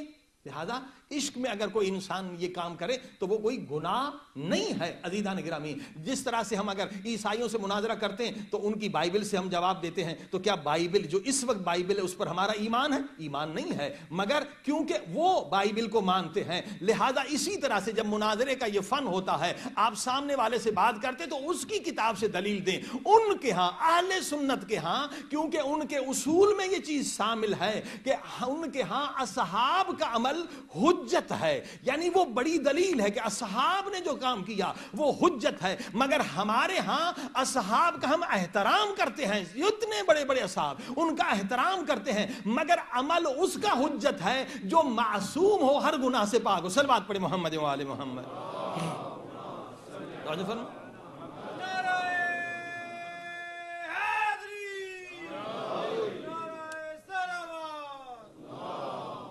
تو تو یہ کہہ سکتے ہیں کہ اویس کرنی کی سنت ہے، مگر یہ نہیں کہہ سکتے کہ امام زین العابدین کی سنت ہے۔ لہذا سارا مسئلہ الٹا چلا جائے گا۔ لہذا ہر چیز کے مقصد کو سمجھیں اور اس کے فلسفے کو سمجھیں اور اس کی تاریخ کو سمجھیں۔ اگر ان تین چیزوں کو آپ نے نہیں سمجھا تو آپ خود بھی کنفیوز رہیں گے اور دوسروں کو بھی جواب نہیں دے سکیں گے۔ سلوات پڑھی محمد و آل محمد۔ آج دیکھیے، مسلمانوں کی تباہی، بربادی اور اس وقت جو حالات، اس کا سبب کیا ہے؟ ہم نماز پڑھتے ہیں، مگر نماز کے مقصد کا پتہ نہیں۔ روزہ رکھتے ہیں، روزے کے مقصد کا پتہ نہیں۔ حج پہ سارے جاتے ہیں، تین تین، چار ہزار پاؤنڈ خرچ کرتے ہیں، مگر حج کا بھی مقصد کا پتہ نہیں۔ یعنی عبادت ہمارے پاس ہے صرف ڈیڈ یعنی ڈیڈ باڈی کی طرح۔ عبادت ہمارے پاس رہ گئی ہے، مگر اس کی روح ختم ہو گئی۔ یہ رسول خدا خود فرماتے ہیں کہ اگر نمازی نماز پڑھ رہے ہوں اور آپس میں محبت نہ ہو، تو یہ نماز زندہ نہیں، بلکہ مردہ ہے۔ سلوات پڑھی محمد محمد۔ نماز کا مقصد ہے محبت پیدا کرنا۔ یہ سینٹرز میں آنے کا مقصد کیا ہے؟ پیس آف مائنڈ ہو۔ سکون ہو اور محبت زیادہ ہو۔ اگر یہیں سے ہم لڑ جھگڑ کر جائیں تو فائدہ ہی نہیں۔ یہیں سے ہم نفرتیں لے جائیں تو ہم نے مقصد کو بالکل قتل کر دیا۔ مقصد فوت ہو گیا۔ دیکھیے، ایک رکت نماز، اکیلے پڑھیں ایک رکت لیکن یہاں پر اگر آ جائیں تو ایک رکت کتنا ہو جائے گی؟ کہتے ہیں اگر دس سے زیادہ، دس سے زیادہ نمازی ہوں تو آپ کی نماز، اس کا ثواب اتنا زیادہ ہے کہ کوئی انسان بھی شمار نہیں کر سکتا، فرشتے بھی شمار نہیں کر سکتا اب بتائیے، اللہ کو اتنا اتحاد پسند ہے، یونٹی پسند ہے، جو میں نے عرض کیا، سب سے زیادہ ویلیو اسلام میں یونٹی کو نماز کا مقصد کیا ہے؟ یونٹی ہو۔ اکیلے پڑھیں تو ایک رکعت، یہاں پڑھیں تو ملینز رکعت۔ تقریباً جو روزانہ جماعت نہیں پڑھتے، وہ ایک ملین کا نقصان ہم کرتے۔ ایک ملین کا۔ اتنا ثواب زیادہ ہے۔ کیوں؟ کہ وہاں اگر ہم گئے اور وہاں مسجد میں اگر جھگڑ کے آئے، تو ایک ملین کیا؟ زیرو کا بھی ثواب نہیں ملے گا۔ مقصد کیا؟ روح کیا ہے؟ نماز کا روح یہ کہ وہاں ملو، آپس میں محبت، نماز کے بعد ہاتھ ملاؤ، محبت سے ہاتھ ملاؤ، سینے سے لگاؤ، ایک دوسرے کی خیریت پوچھو، اس کا پرابلم پوچھو، کسی کو قرض ہے چاہیے، اس کو پیسے دو، کسی کا بیمار بچہ اس کی مدد کرو۔ اب آپ نے دیکھا، ایک سوشل لائف ہے کہ ایک دوسرے کی ہیلپ کرو۔ اگر ہم مسجد میں جا کر ایک دوسرے کے خلاف نفرتیں سن کر آئیں، تو ہم نے نماز تو پڑھی، مگر نماز کے روح کو قتل کر دیا۔ ہر عبادت کا روح کو ہے۔ روح کیا ہے؟ سول کیا ہے؟ حج کا مقصد کیا ہے؟ ایک زبان ہو کر آؤ، ایک لباس ہو کر آؤ۔ وہاں حج کا مقصد بھی یونٹی ہے۔ زکات کا مقصد کیا ہے؟ غریبوں کی مدد کرو گے، محبت پیدا ہوگی، یونٹی پیدا ہوگی۔ ہومز کا مقصد کیا ہے؟ یونٹی پیدا ہوگی۔ جتنی بھی اسلام کی عبادتیں ہیں، اگر آپ گہرائی سے نظر ڈالیں تحقیقی نظر ڈالیں، اس کا ایک سب سے بڑا مقصد یونٹی ہے۔ سلوات پڑھی محمد محمد۔ لہذا آج نماز ہے، روزہ ہے، حج ہے، زکوٰۃ ہے، خمس ہے مسلمانوں کی دنیا میں، مگر کوئی عزت نہیں ہے۔ کیوں؟ اس لیے کہ یہ عبادتیں بغیر روح کے ہیں۔ یہ عبادتیں بغیر روح کے ہیں۔ مقصد ختم ہو گیا، نماز پڑھ رہے ہیں۔ مگر شیعہ سنی کو برا بھلا کہہ رہا ہے، سنی شیعہ کو برا بھلا کہہ رہا ہے۔ اور اللہ سے کہہ رہا ہے اے خدا، جتنے لا الہ الا اللہ والے ہیں، ان سب کی مدد کر۔ اور خود مدد نہیں کرتا، خود گالی دیتا ہے۔ سلمات پڑے محمد ہاں جی۔ خدا سے کہتا ہے نماز میں کہ ہم سب اللہ کے بندے ہیں، جو بھی تیری نمازی ہیں، سب بندے ہیں، میرے اللہ سب کی مدد کر۔ اور اسپیکر پہ آ کر وہ اس پہ گالی دیتا ہے، وہ اس پہ گالی دیتا ہے۔ یعنی روح عبادت نہیں ہے۔ عبادت رہ گئی جنازے کی طرح، روزہ ہے مگر روح نہیں، حج ہے مگر روح نہیں زکات ہے مگر روح نہیں۔ عزیزان گرامی، یہ آج ہم مسلمانوں کی بدبختی ہے۔ روح کب آئے گی؟ جب جہالت ختم ہوگی۔ ہر عبادت کا مقصد ہے اور ہر عبادت کا فلسفہ ہے اور ہر عبادت کی تاریخ ہے۔ سلوات پر محمد وآل محمد۔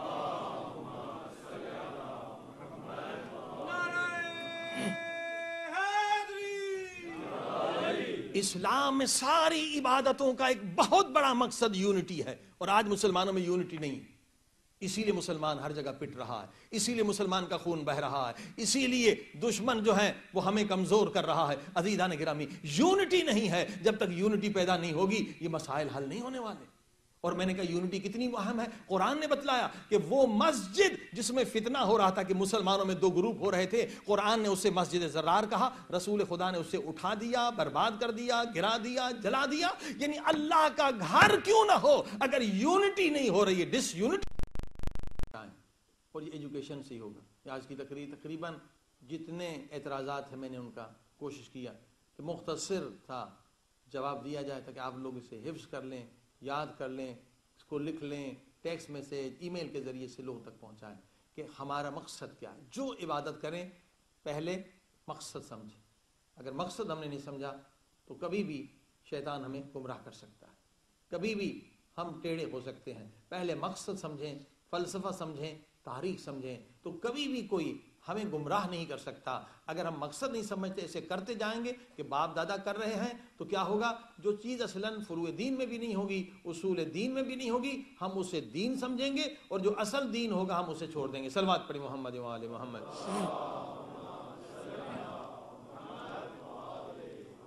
لہٰذا میں نے عرض کیا کہ رسول خدا صلی اللہ علیہ وسلم نے یونٹی کے لیے مسجد کو گرا دیا، مسجد زرار بنا دیا، قرآن کی آیت آ گئی۔ اور اسی طرح سے مولا علی علیہ السلام ہم شیعوں کا قیدہ ہے کہ پہلی خلافت مولا علی علیہ السلام کا حق تھا۔ لیکن آپ نے دیکھا، اگر ہم شیعہ ہیں، اگر مولا علی کے ماننے والے ہیں، تو ہمیں بھی یونٹی کے لیے قربانی دینی ہوگی۔ مولا علی نے اپنی خلافت کے لیے تلوار نہیں اٹھائی۔ اور آپ جانتے ہیں، نہج البلاغہ شیعہ سنی کتابوں میں موجود، سنی بھی مانتے ہیں، شیعہ بھی مانتے ہیں، ابن الحدیث سنی ہے، اس نے شرح لکھی ہے نہج البلاغہ کی۔ نہج البلاغہ کو سب مانتے ہیں اس میں آپ نے دیکھا کہ مولا علی کے گلے میں رسا بھی پڑا، مولا نے تلوار نہیں اٹھائی، یونٹی کی اتنی اہمیت ہے اور ہم شیعوں کا عقیدہ ہے۔ عزیزان گرامی کے دروازے پر آگ لگی، دروازہ گرایا گیا بی بی زخمی ہوئی، مگر یونٹی کے لیے مولا علی نے تلوار نہیں اٹھائی اور حضرت محسن شہید ہوئے۔ حضرت علی علیہ السلام نے یونٹی کے لیے تلوار نہیں اٹھائی۔ اب یہ اتنے دلیل ہیں، اس کا کوئی بھی جواب نہیں دے سکتا کہ یونٹی کتنی اہم ہے۔ اب اگر ہم کسی کے رہبر پہ لانت کریں، تبرہ بازی کریں، تو بتائیے ہم مولا علی کے دوست کہلائیں گے یا دشمن کہلائیں گے، مولا علی کے مشن پہ چل رہے ہیں یا کسی اور کے مشن پہ چل رہے ہیں؟ لہٰذا خبردار ہو جائیے کہ منافق ادھر بھی ہیں، منافق ادھر بھی ہیں، شیعوں کے اندر بھی ہیں، سنیوں کے اندر بھی ہیں، لیکن اصل میں یہ شیعہ نہیں اور اصل میں وہ سنی نہیں۔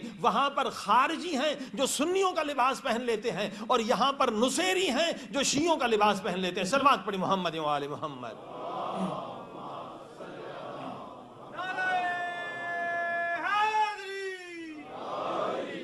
لہذا بہت ضرورت ہے اس فتنے کو ختم کرنے کے لوگوں کو ایجوکیٹ کیا جائے۔ اور عالم اسلام کے جو دشمن ہیں، وہ کنہیں یوز کرتے ہیں؟ وہ ضمیر فروش علماء کو۔ جو یہ لانت پھیلاتے ہیں ٹیررزم کی، جو لوگوں کا برین واش کرتے ہیں، جو سوسائڈ اٹیک کے لیے تیار کرتے ہیں، یہ ضمیر فروش علماء جو آج عالم اسلام کے دشمنوں کے لیے اعلی کار بن چکے ہیں۔ عزیزان گرامی، اس کی وجہ یہ ہے کہ دیکھیے، ایران میں، عراق میں تو مشتحدین ہوتے ہیں۔ اگر کوئی ایسا ٹیڑا عالم پیدا ہو جائے جو ایسی حرکتیں کرے، جسے علماء سو کہتے ہیں، اور یہ بھی سن لیں کہ علماء سو کے بارے میں ہماری یہاں احادیث ہیں، رسول خدا کی احادیث ہیں، قرآن کی آیتیں ہیں، اماموں کے فرمان ہیں، امام فرماتے ہیں، امام زین العابدین، امام محمد باقر علیہ السلام، امام جعفر صادق علیہ السلام فرماتے لوگوں، علماء سو سے بچو۔ وہ علماء جو پیسے کی خاطر دین بیچ دیں، ایمان بیچ دیں، فرقہ پرستی پھیلائیں۔ اور اپنے اللہ کی رضا کے لیے نہیں، لوگوں کی رضا کے لیے الٹی سیدھی باتیں کریں اور تفرقہ پھیلائیں۔ فرمایا، ایسے علماء سے بچو۔ کیوں؟ فرمایا، علماء سو یعنی برے علماء جو ضمیر بیچ چکے ہیں پیسوں کے لیے۔ کیونکہ جتنے جھوٹے مذہب بنے ہیں، قادیانی مذہب کسی جاہل نے نہیں بنایا۔ کس نے بنایا؟ جتنے مذہب جنہیں اہل اسلام نہیں مانتا، بہائی مذہب کو ہم مسلمان نہیں مانتے، قادیانی مذہب کو مسلمان نہیں مانتے، یہ کس کا مذہب ہے؟ کس جاہل نے بنایا؟ مذہب کبھی کوئی جاہل نہیں بناتا ہے، عقیدہ کبھی کوئی جاہل نہیں بناتا، جاہل استعمال ہو جاتے ہیں۔ اسی طرح سے آج یہ ٹیررزم کا عقیدہ بنایا ہے، یہ کسی جاہل نے نہیں بنایا، یہ علماء ہیں، مگر یہ کون سے علماء ہیں؟ جنہوں نے ایکسٹریمزم پیدا کیا ہے، جنہوں نے ٹیررزم پیدا کیا ہے، یہ علماء سو ہیں جو پوری دنیا کے اسلام کے لیے بدنامی کا سبب ہو رہے ہیں۔ اور امام فرماتے ہیں، علماء سو یزید کے لشکر سے زیادہ خطرناک۔ اتنا سخت جملہ کا یہ علماء سو جو ہیں، یزید کے لشکر سے زیادہ خطرناک ہیں۔ کیونکہ یزید کے لشکر نے ہمارا مال لوٹا تھا، یہ تمہارا ایمان لوٹ لے۔ یہ مسلمان کو مسلمان سے لڑا دیں گے۔ یہ سوسائڈ کرنے کے لیے ایک بیچارے جاہل بچے، جاہل جوان کو تیار کر لیں گے اور پورا مسلمان، پورے اسلام کو بدنام کر دیں گے۔ یہ علماء سو ہیں، زیدان گرامی۔ اب ہمارے یہاں مشکل یہ ہے کہ پاکستان، انڈیا میں ہر ایک آزاد ہے، جو بھی عالم بن جائے، کسی مدرسے میں نہیں گیا تو بھی عالم بن جاتا ہے، یونیورسٹی والا ہے تو بھی عالم بن جاتا ہے، جس کی مرضی و ممبر پہ بیٹھ جاتا ہے، بلکہ گانے بجانے والے بھی بیٹھ جاتے ہیں۔ سلوات پڑے محمد محمد۔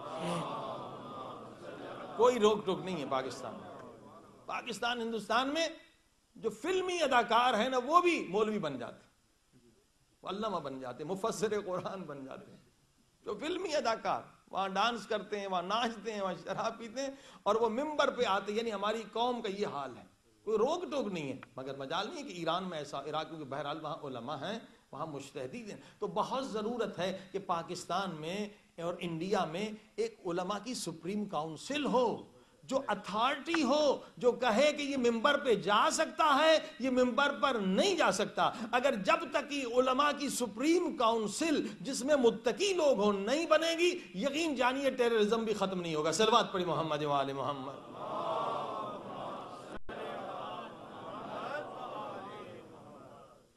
فرمائی؟ یہ بہت سارے عناصر ہیں۔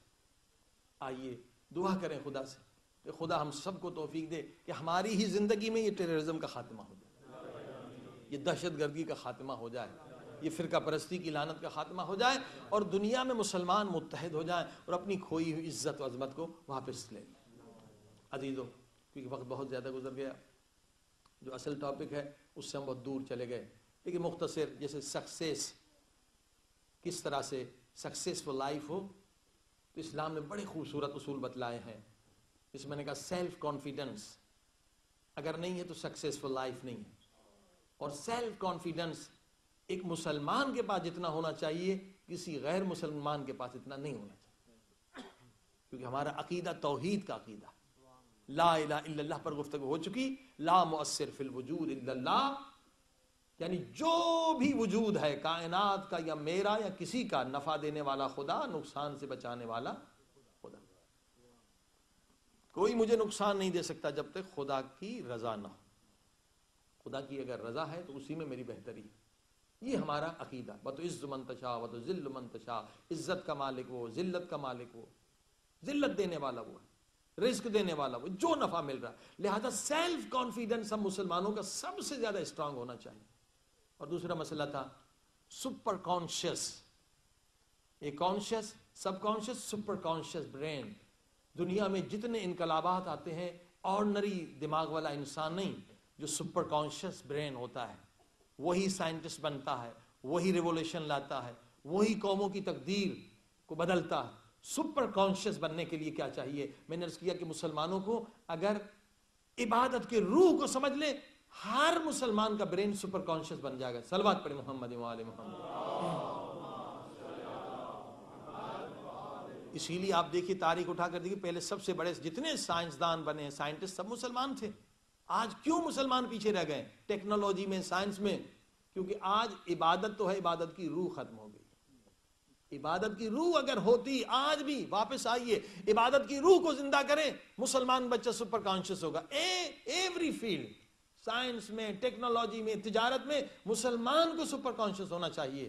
عزیزان گرامی، مگر مسلمان عبادت، مردہ عبادت کر رہا ہے۔ زندہ، مقصد ہی نہیں پتا کہ عبادت کیوں کر رہا ہے۔ مثلا یہی نماز ہم سب پڑھتے ہیں پانچ وقت پہ۔ السلاۃ معراج المومن، حدیث ہے رسول خدا کی، تاکہ اس کی روح کو سمجھیں کہ یہ نماز جو معراج ہے مومن کی یعنی مسلسل ترقی ہے۔ ایک جگہ پہ رکنا نہیں ہے، مسلسل اوپر جانا ہے۔ اور مختصر عرض کر دوں کہ سپر کانشس کے لیے جو بہت اہم چیز ہے، مثلا اگر آپ چاہتے سپر کانشس برین ہو، اس کے لیے اہم ترین چیز یہ ہے کہ کنسنٹریشن آپ ڈیولپ کریں۔ جس انسان کے برین کے اندر کنسنٹریشن کا پاور جتنی پرسنٹیج پہ زیادہ، وہ اتنا سپر کانشس زیادہ۔ یہ سائیکولوجی کا فیصلہ۔ ہے ماڈرن سائیکولوجی یہ کہتی ہے، ایک انسان کتنا کنسنٹریشن پاور رکھتا ہے۔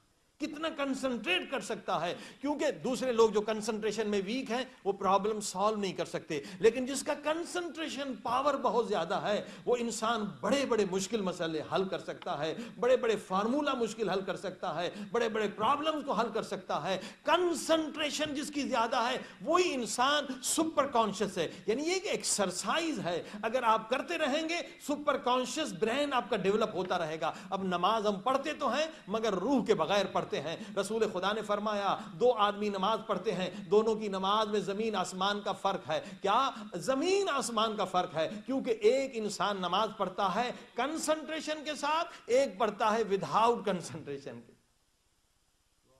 تو فرمایا، کسی کی نماز ون پرسینٹ قبول ہوتی ہے، کہ اس کی کنسنٹریشن ون پرسینٹ کسی کی ٹین پرسینٹ قبول ہوتی ہے، کہ ٹین پرسینٹ کنسنٹریشن اب آپ دیکھیے سپر کانشس بننے کے لیے اللہ نے پانچ وقت نماز ہم پر واجب کی، مگر ہم اتنے بھولے بھالے ہیں کہ نماز ہی میں سارے گھر کے حساب کرتے رہتے ہیں۔ سلوات پڑی محمد محمد۔ بیسٹ ایکسرسائز سپر کانشس بننے کے لیے نماز ہے کہ ادھر ادھر ذہن نہ چلا جائے۔ اور رسول خدا آخرت کی ضمانت دے رہے ہیں کہ دو رکت نماز اس طرح سے پڑھ کے دکھاؤ کہ ادھر ادھر کا خیال نہ آئے۔ میں ضمانت دیتا ہوں کہ جنت تم پہ واجب یعنی دنیا بھی، آخرت بھی۔ یہاں سپر کانشس برین بن جاؤ گے۔ دنیا میں کوئی تم سے زیادہ انٹیلیجنٹ نہیں ہوگا۔ دنیا میں تم سے کوئی سکسیسفل نہیں ہوگا۔ ہر فیلڈ میں تم نمبر ون ہوگے اور ادھر بھی جنت میں نمبر ون ہوگے۔ لیکن ہمارے پاس نماز ہے، مگر کیا؟ سپر کانشس نہیں۔ کیونکہ نماز پڑھتے ہیں وداؤٹ کنسنٹریشن سلوات پڑھے محمد وآل محمد۔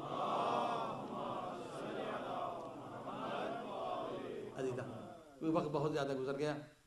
ورنہ اور اس پہ گفتگو ہو سکتی تھی کہ کیسے سپر کانشس بنے ایک تو نماز ہے ممکن ہے کل میں اس پر گفتگو کروں، ایک اور چیز سپر کانشس بننے کے لیے میں نے کل کہا تھا کہ انسان کو سکسیسفل ہونے کے لیے گولڈ سیٹنگ بہت ضروری ہے۔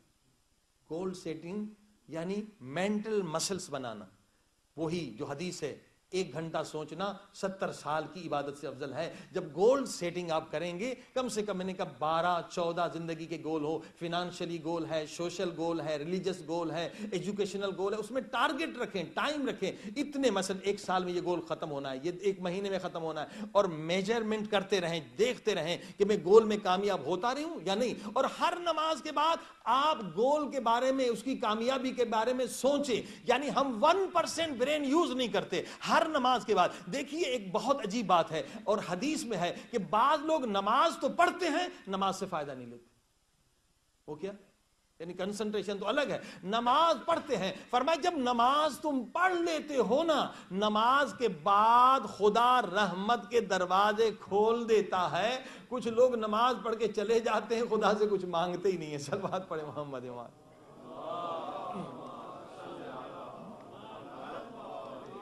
نماز کا مطلب مانگو۔ اب تم اس قابل ہو کہ جو مانگو گے مل جاؤ گے۔ اب دیکھیں نماز کے بعد اذکار ہوتے ہیں۔ تسبیح ہے نا؟ حضرت فاطمہ زہرا سلام ذکر ہے۔ اب کیسے سوچیں کہ اس گول میں ایک ایسا آئیڈیا فلیش آئیڈیا کے فلیش ہوتا ہے۔ ایک نور چمکتا ہے اور وہ خدا کی طرف سے، عالم غیب کی طرف سے ایک ایسا آئیڈیا آپ کے پاس آئے گا، دنیا میں کسی کے پاس نہیں آئے گا۔ اور سپر کانشس برین بالکل سول کے قریب ہوتا ہے، بالکل سول کے قریب۔ میسج ریسیو کر سکتا ہے اگر ہم ان عبادات کے روح کو سمجھ لیں۔ ہم مسلمان ہر فیل میں آگے ہونا چاہیے ہمیں، لیکن ہم روح کو مار چکے ہیں۔ فقط اٹھنے بیٹھنے کا نام ہم نے نماز سمجھ لیا۔ اذکار، اللہ کا ذکر۔ مثلا آپ کہتے ہیں یہ کیوں ہے؟ ہزار مرتبہ سلوات پڑھو، ٹھیک ہے۔ یا حیو یا قیوم، ہزار مرتبہ پڑھو۔ یہ ذکر سلوات ہزار مرتبہ، پانچ ہزار مرتبہ پڑھو۔ دیکھیے، پہلے ذکر ہے پھر فکر ہے۔ سپر کانشیس بننے کے لیے آپ دیکھیے خود تجربہ کر کے دیکھیے۔ ایک پرابلم ہے، آپ کو اس کا حل سمجھ میں نہیں آ رہا۔ کوئی ایکویشن پہ کام ہو رہا ہے، کسی فارمولا میں، کسی بزنس میں آپ پھنس گئے۔ کوئی مسئلہ، کوئی ایشو ہے، سمجھ میں نہیں آتا۔ آپ اٹھائیے تسبیح، نماز حاجت پڑھیے، کوئی بھی ذکر کریے۔ نماز حاجت کے بعد مثلا بسم اللہ الرحمن بے حق کے، بے حق کے بسم اللہ الرحمن سجدے میں بھی ہے اور چلتے۔ ہزار مرتبہ آپ پڑھیں۔ ہزار مرتبہ بہت سارے اذکار ہیں۔ ہزار مرتبہ ذکر کرنے کے بعد اب بیس منٹ فکر کر کے دیکھیے۔ کیونکہ اب آپ بہت نزدیک پہنچ چکے ہیں عالم غیب سے، عالم نور سے۔ اب فوراً فلیش ہوگا دماغ پھر نور چمکے گا، جو چیز ناممکن ہے وہ آپ کے لیے ممکن ہو جائے۔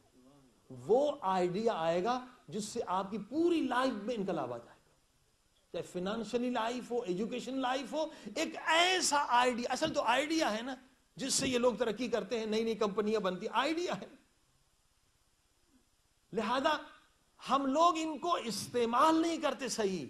اگر ذکر کرنے کے بعد فکر کریں گے بیس منٹ، یقیناً ایک دنیا میں ایسی کامیابی مسلمان کو ملے گی جو آج تک کسی کو نہیں ملی ہوگی۔ سلوات پڑی محمد وال محمد۔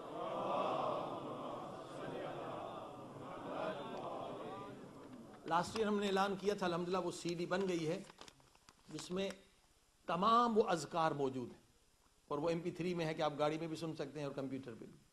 تقریباً کئی سالوں کی تحقیق کے بعد، کئی علماء کی زحمات کے بعد یہ سی ڈی بنی ہے اور آواز میں ہے دعائیں بھی عربی کے ساتھ پڑھی گئی اذکار بھی۔ ہر بیماری کا علاج بھی ہے۔ اچھا یہ بیماری کا کیا علاج ہے، یہ بیماری کا کیا علاج ہے؟ اس کامیابی کے لیے کیا ذکر ہے؟ قرض اتارنے کے لیے کیا ہے؟ اس کی کوئی چیز شاید باقی نہ رہی ہو۔ پہلا یہ اس کا پہلا پارٹ ہے۔ تو جن حضرات کو چاہیے، وہ بک کرا لیں، نام لکھوا لیں۔ تو شاید کل ہم انہیں دے سکیں۔ یہ بہترین ہے کہ آپ گاڑی میں سنتے جائیں کہ یہ کون سا ذکر جو ہے میری زندگی میں مجھے سپر کانشس بنا دے گا۔ کہ ہر انسان کا اپنا گول ہوتا ہے۔ کیا آپ کا گول ہے؟ گول سیٹنگ کیا ہے؟ آپ ذکر کریں، اس کے بعد بیس منٹ فکر کریں۔ آپ دیکھیے وہ چیز جو امپاسبل تھی، وہ آپ کے لیے پاسبل بن جائے گی۔ سلوات پڑھی محمد اور یہ جو جہالت ہے، اسے ختم کرنا آپ سب کا فریضہ کیونکہ بعد میں آنے والوں کو شاید علم ہو گیا ہوگا کہ ڈیرہ اسماعیل خان میں ستر جنازے ہوئے، ستر، سیونٹی۔ اور اکثر ہم پاکستان میں تھے، ہر سال ہم ڈیرہ اسماعیل خان جاتے تھے، آج پورا اشرا پڑھتے تھے۔ بڑے محبت والے مومنی اور جہاں ہم ٹھہرتے تھے، وہ سید بھی شہید ہو گئے بیچارے۔ اور ان کی زوجانے پہلے شہید ہوئے، اس سے پہلے۔ واقعی نے اس وقت فون بھی کیا تھا کہ ہمیں تھریڈ کیا جا رہا ہے کہ تم لوگ یہاں سے چلے جاؤ۔ تم مسلمان نہیں ہو یا تم جزیہ دو، پھر تم یہاں رہ سکتے کیونکہ یہ حالت ہے ڈیر اسماعیل خان کی۔ اور کتنے لوگ مائگریٹ ہو چکے اور کتنے بچے یتیم ہیں؟ انشاءاللہ جو لوگ بھی یتیموں کو اسپانسر کرنا چاہیں، تو وہاں تین چار سو کے قریب جو ہے بچے یتیم ہو چکے ڈیر اسماعیل خان میں بہت ظلم ہوا، کیونکہ یہ جتنے علاقے غیر، جتنے یہ وزیرستان، یہ سارے کے بارڈر سے آرام سے یہاں آتے ہیں، یہ ٹیررسٹ اور یہ آ کے ظلم کرتے ہیں۔ آج ڈھائی سو لوگ زخمی ہیں۔ بتائیے اس شہر کا کیا حالت، کیا عالم ہوگا؟ ستر شہید اور ٹو ہنڈریڈ ففٹی جو ہیں زخمی ہیں۔ اور کازمین میں بھی تیس کے قریب مومن شہید ہوئے ہیں۔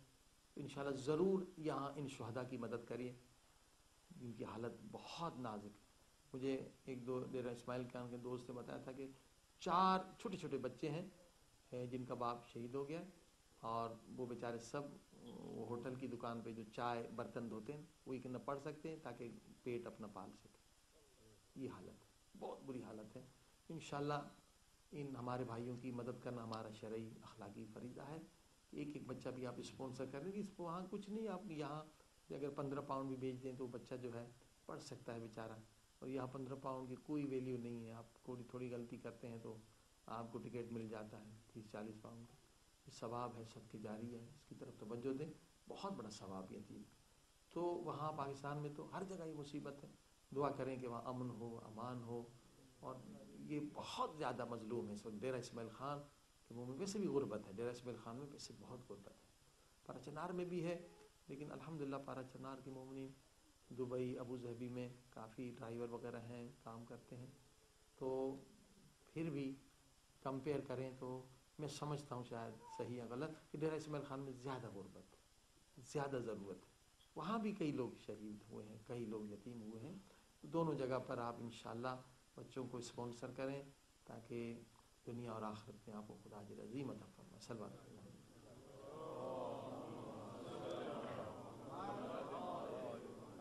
اور جو حضرت نام لکھانا چاہیں، وہ لکھا سکتے ہیں۔ محمد علی بھائی کو یا ہمارے اسٹیٹ سیکرٹری کو کہ میں اسپانسر کرنا چاہتا ہوں۔ تو وہ ڈیر اسماعیل خانی کے ہمارے دوست ہیں، جو یہ کام کر رہے ہیں ایکٹیو ہیں کافی۔ اور دوسرا مسئلہ ایجوکیشن کا۔ آج میں نے جو لوگ بعد میں آئے مجلس، انشاءاللہ آج کی سی ڈی بن جائے گی تو آپ کو دیں گے۔ کیونکہ جتنے تقریباً نائنٹی نائن پرسینٹ جو ہم پہ اعتراضات ہیں کہ شیعہ کافر ہیں، شیعہ کافر ہیں، یہ کام کرتے سب کی ہم نے قرآن حدیث سے جواب دی۔ یہ آپ لوگ بھی یاد کر لیں، انٹرنیٹ پر لوگوں کو ایجوکیٹ کریں، لوگوں کو ایجوکیٹ کریں۔ ایجوکیٹ جب تک نہیں کریں گے، یہ ٹیررزم یہ دہشت گردی، یہ ایکسٹریمزم ختم نہیں ہوگا۔ ہم آپ سب کی ذمہ داری ہے کہ کتنے لوگ بے گناہ مارے جا رہے ہیں، مرتا بھی مسلمان ہے اور بدنام بھی مسلمان ہوتے ظلم یہ ہے۔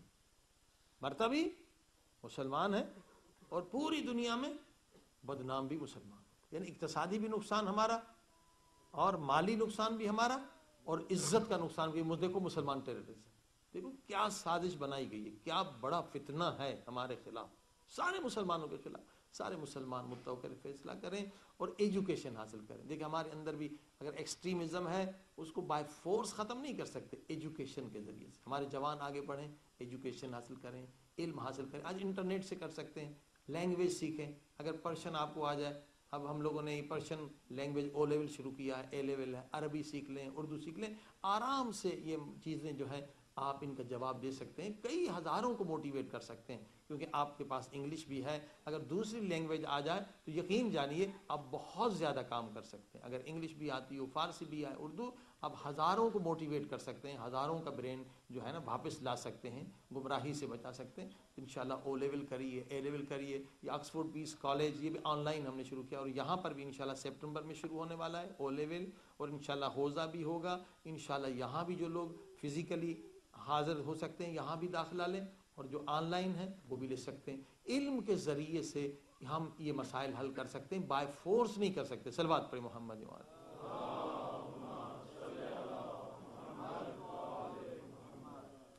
یہ مل کر دعا کریں۔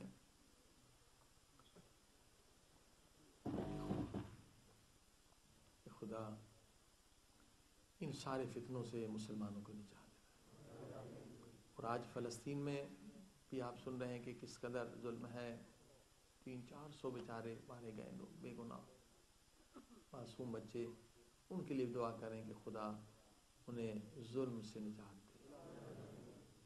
اللہم صلی علی محمد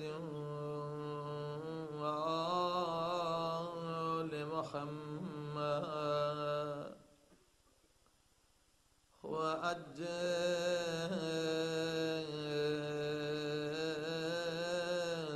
فرجهم. کے اللهم صل على محمد وآل محمد. وأجل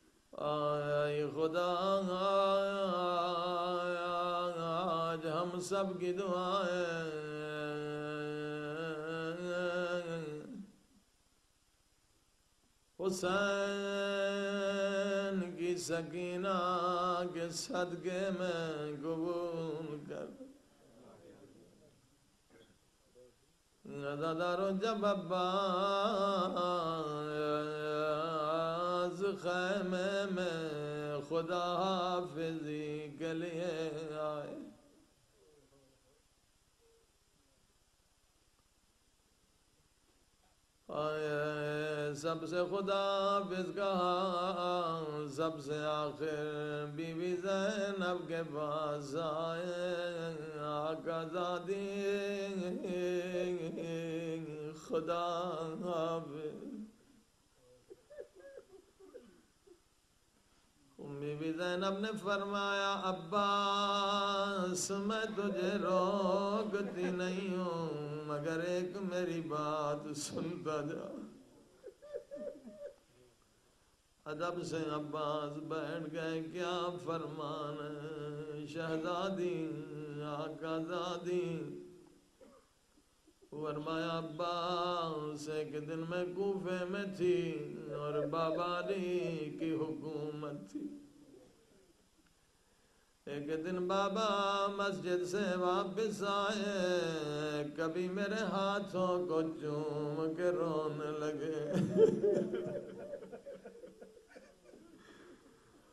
وہ کبھی میرے سر کے بوسے لے کے رونے لگے میں نے پوچھا، بابا رونے کا سبب کیا ہے؟ بابا نے فرمایا، زینب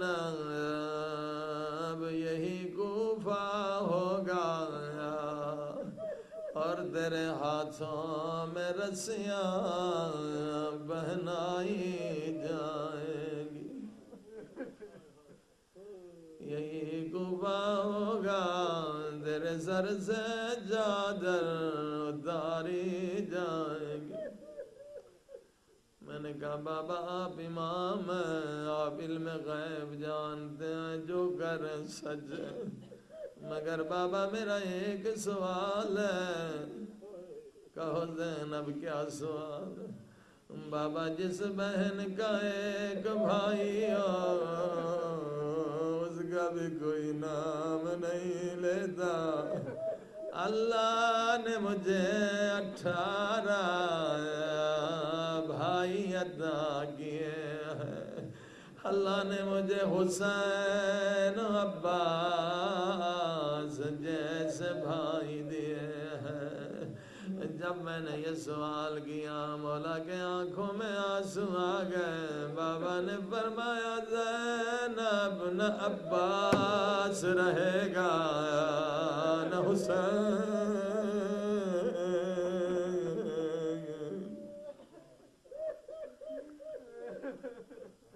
عباس رہے گا نہ حسین عزادار جناب زینب نے عباس سے کیسے خدا حافظ کی فرمایا، خدا حافظ عباس، میں سمجھ گئی ہوں، میرے چادر چھننے کا وقت قریب ہے۔ آئے خدا حافظ عباس، میں سمجھ گئی ہوں میرے ہاتھوں میں رسیاں پہننے کا وقت قریب رو حضرت عباس گئے۔ آئے، ایسا حملہ کیا، سارے فوجی بھاگ گئے۔ مشک بھرا پانی چلو میں لیا، پانی کو دیکھا۔ جب ہم آپ پانی دیکھتے ہیں، ہمیں اپنی تصویر نظر آتی مگر جب عباس نے پانی دیکھا، اپنی تصویر نظر نہیں آئی۔ سکینہ کی پیاسی تصویر نظر آئی۔ پانی نہیں پیا۔ پانی پھینک دیا۔ پانی لے کے اب خیموں کی طرف چلے فوج یزید ابن سعد نے حکم دیا، یہ پانی خیمے میں نہ جانے پائے۔ چاروں طرف حملے ہوئے۔ ایک ظالم نے بازو پہ تلوار ماری۔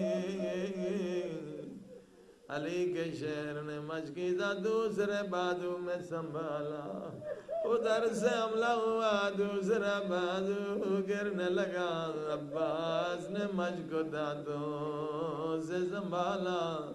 اب عباس کے ہونٹ ہلے، دعا مانگی، کیا دعا؟ اے خدا، مجھے اپنی جان کی کوئی فکر نہیں۔ کسی طرح سے یہ پانی حسین کے بچوں تک پہنچ۔ ابھی دعا ختم نہیں ہوئی تھی۔ ایک تیر آ کے مشکیزہ میں لگا اور سینے میں داخل ہو۔ اب عباس نے دوسری دعا مانگی ہے میرے اللہ، اگر مشگیزہ خیمے میں نہ گیا، اب میری لا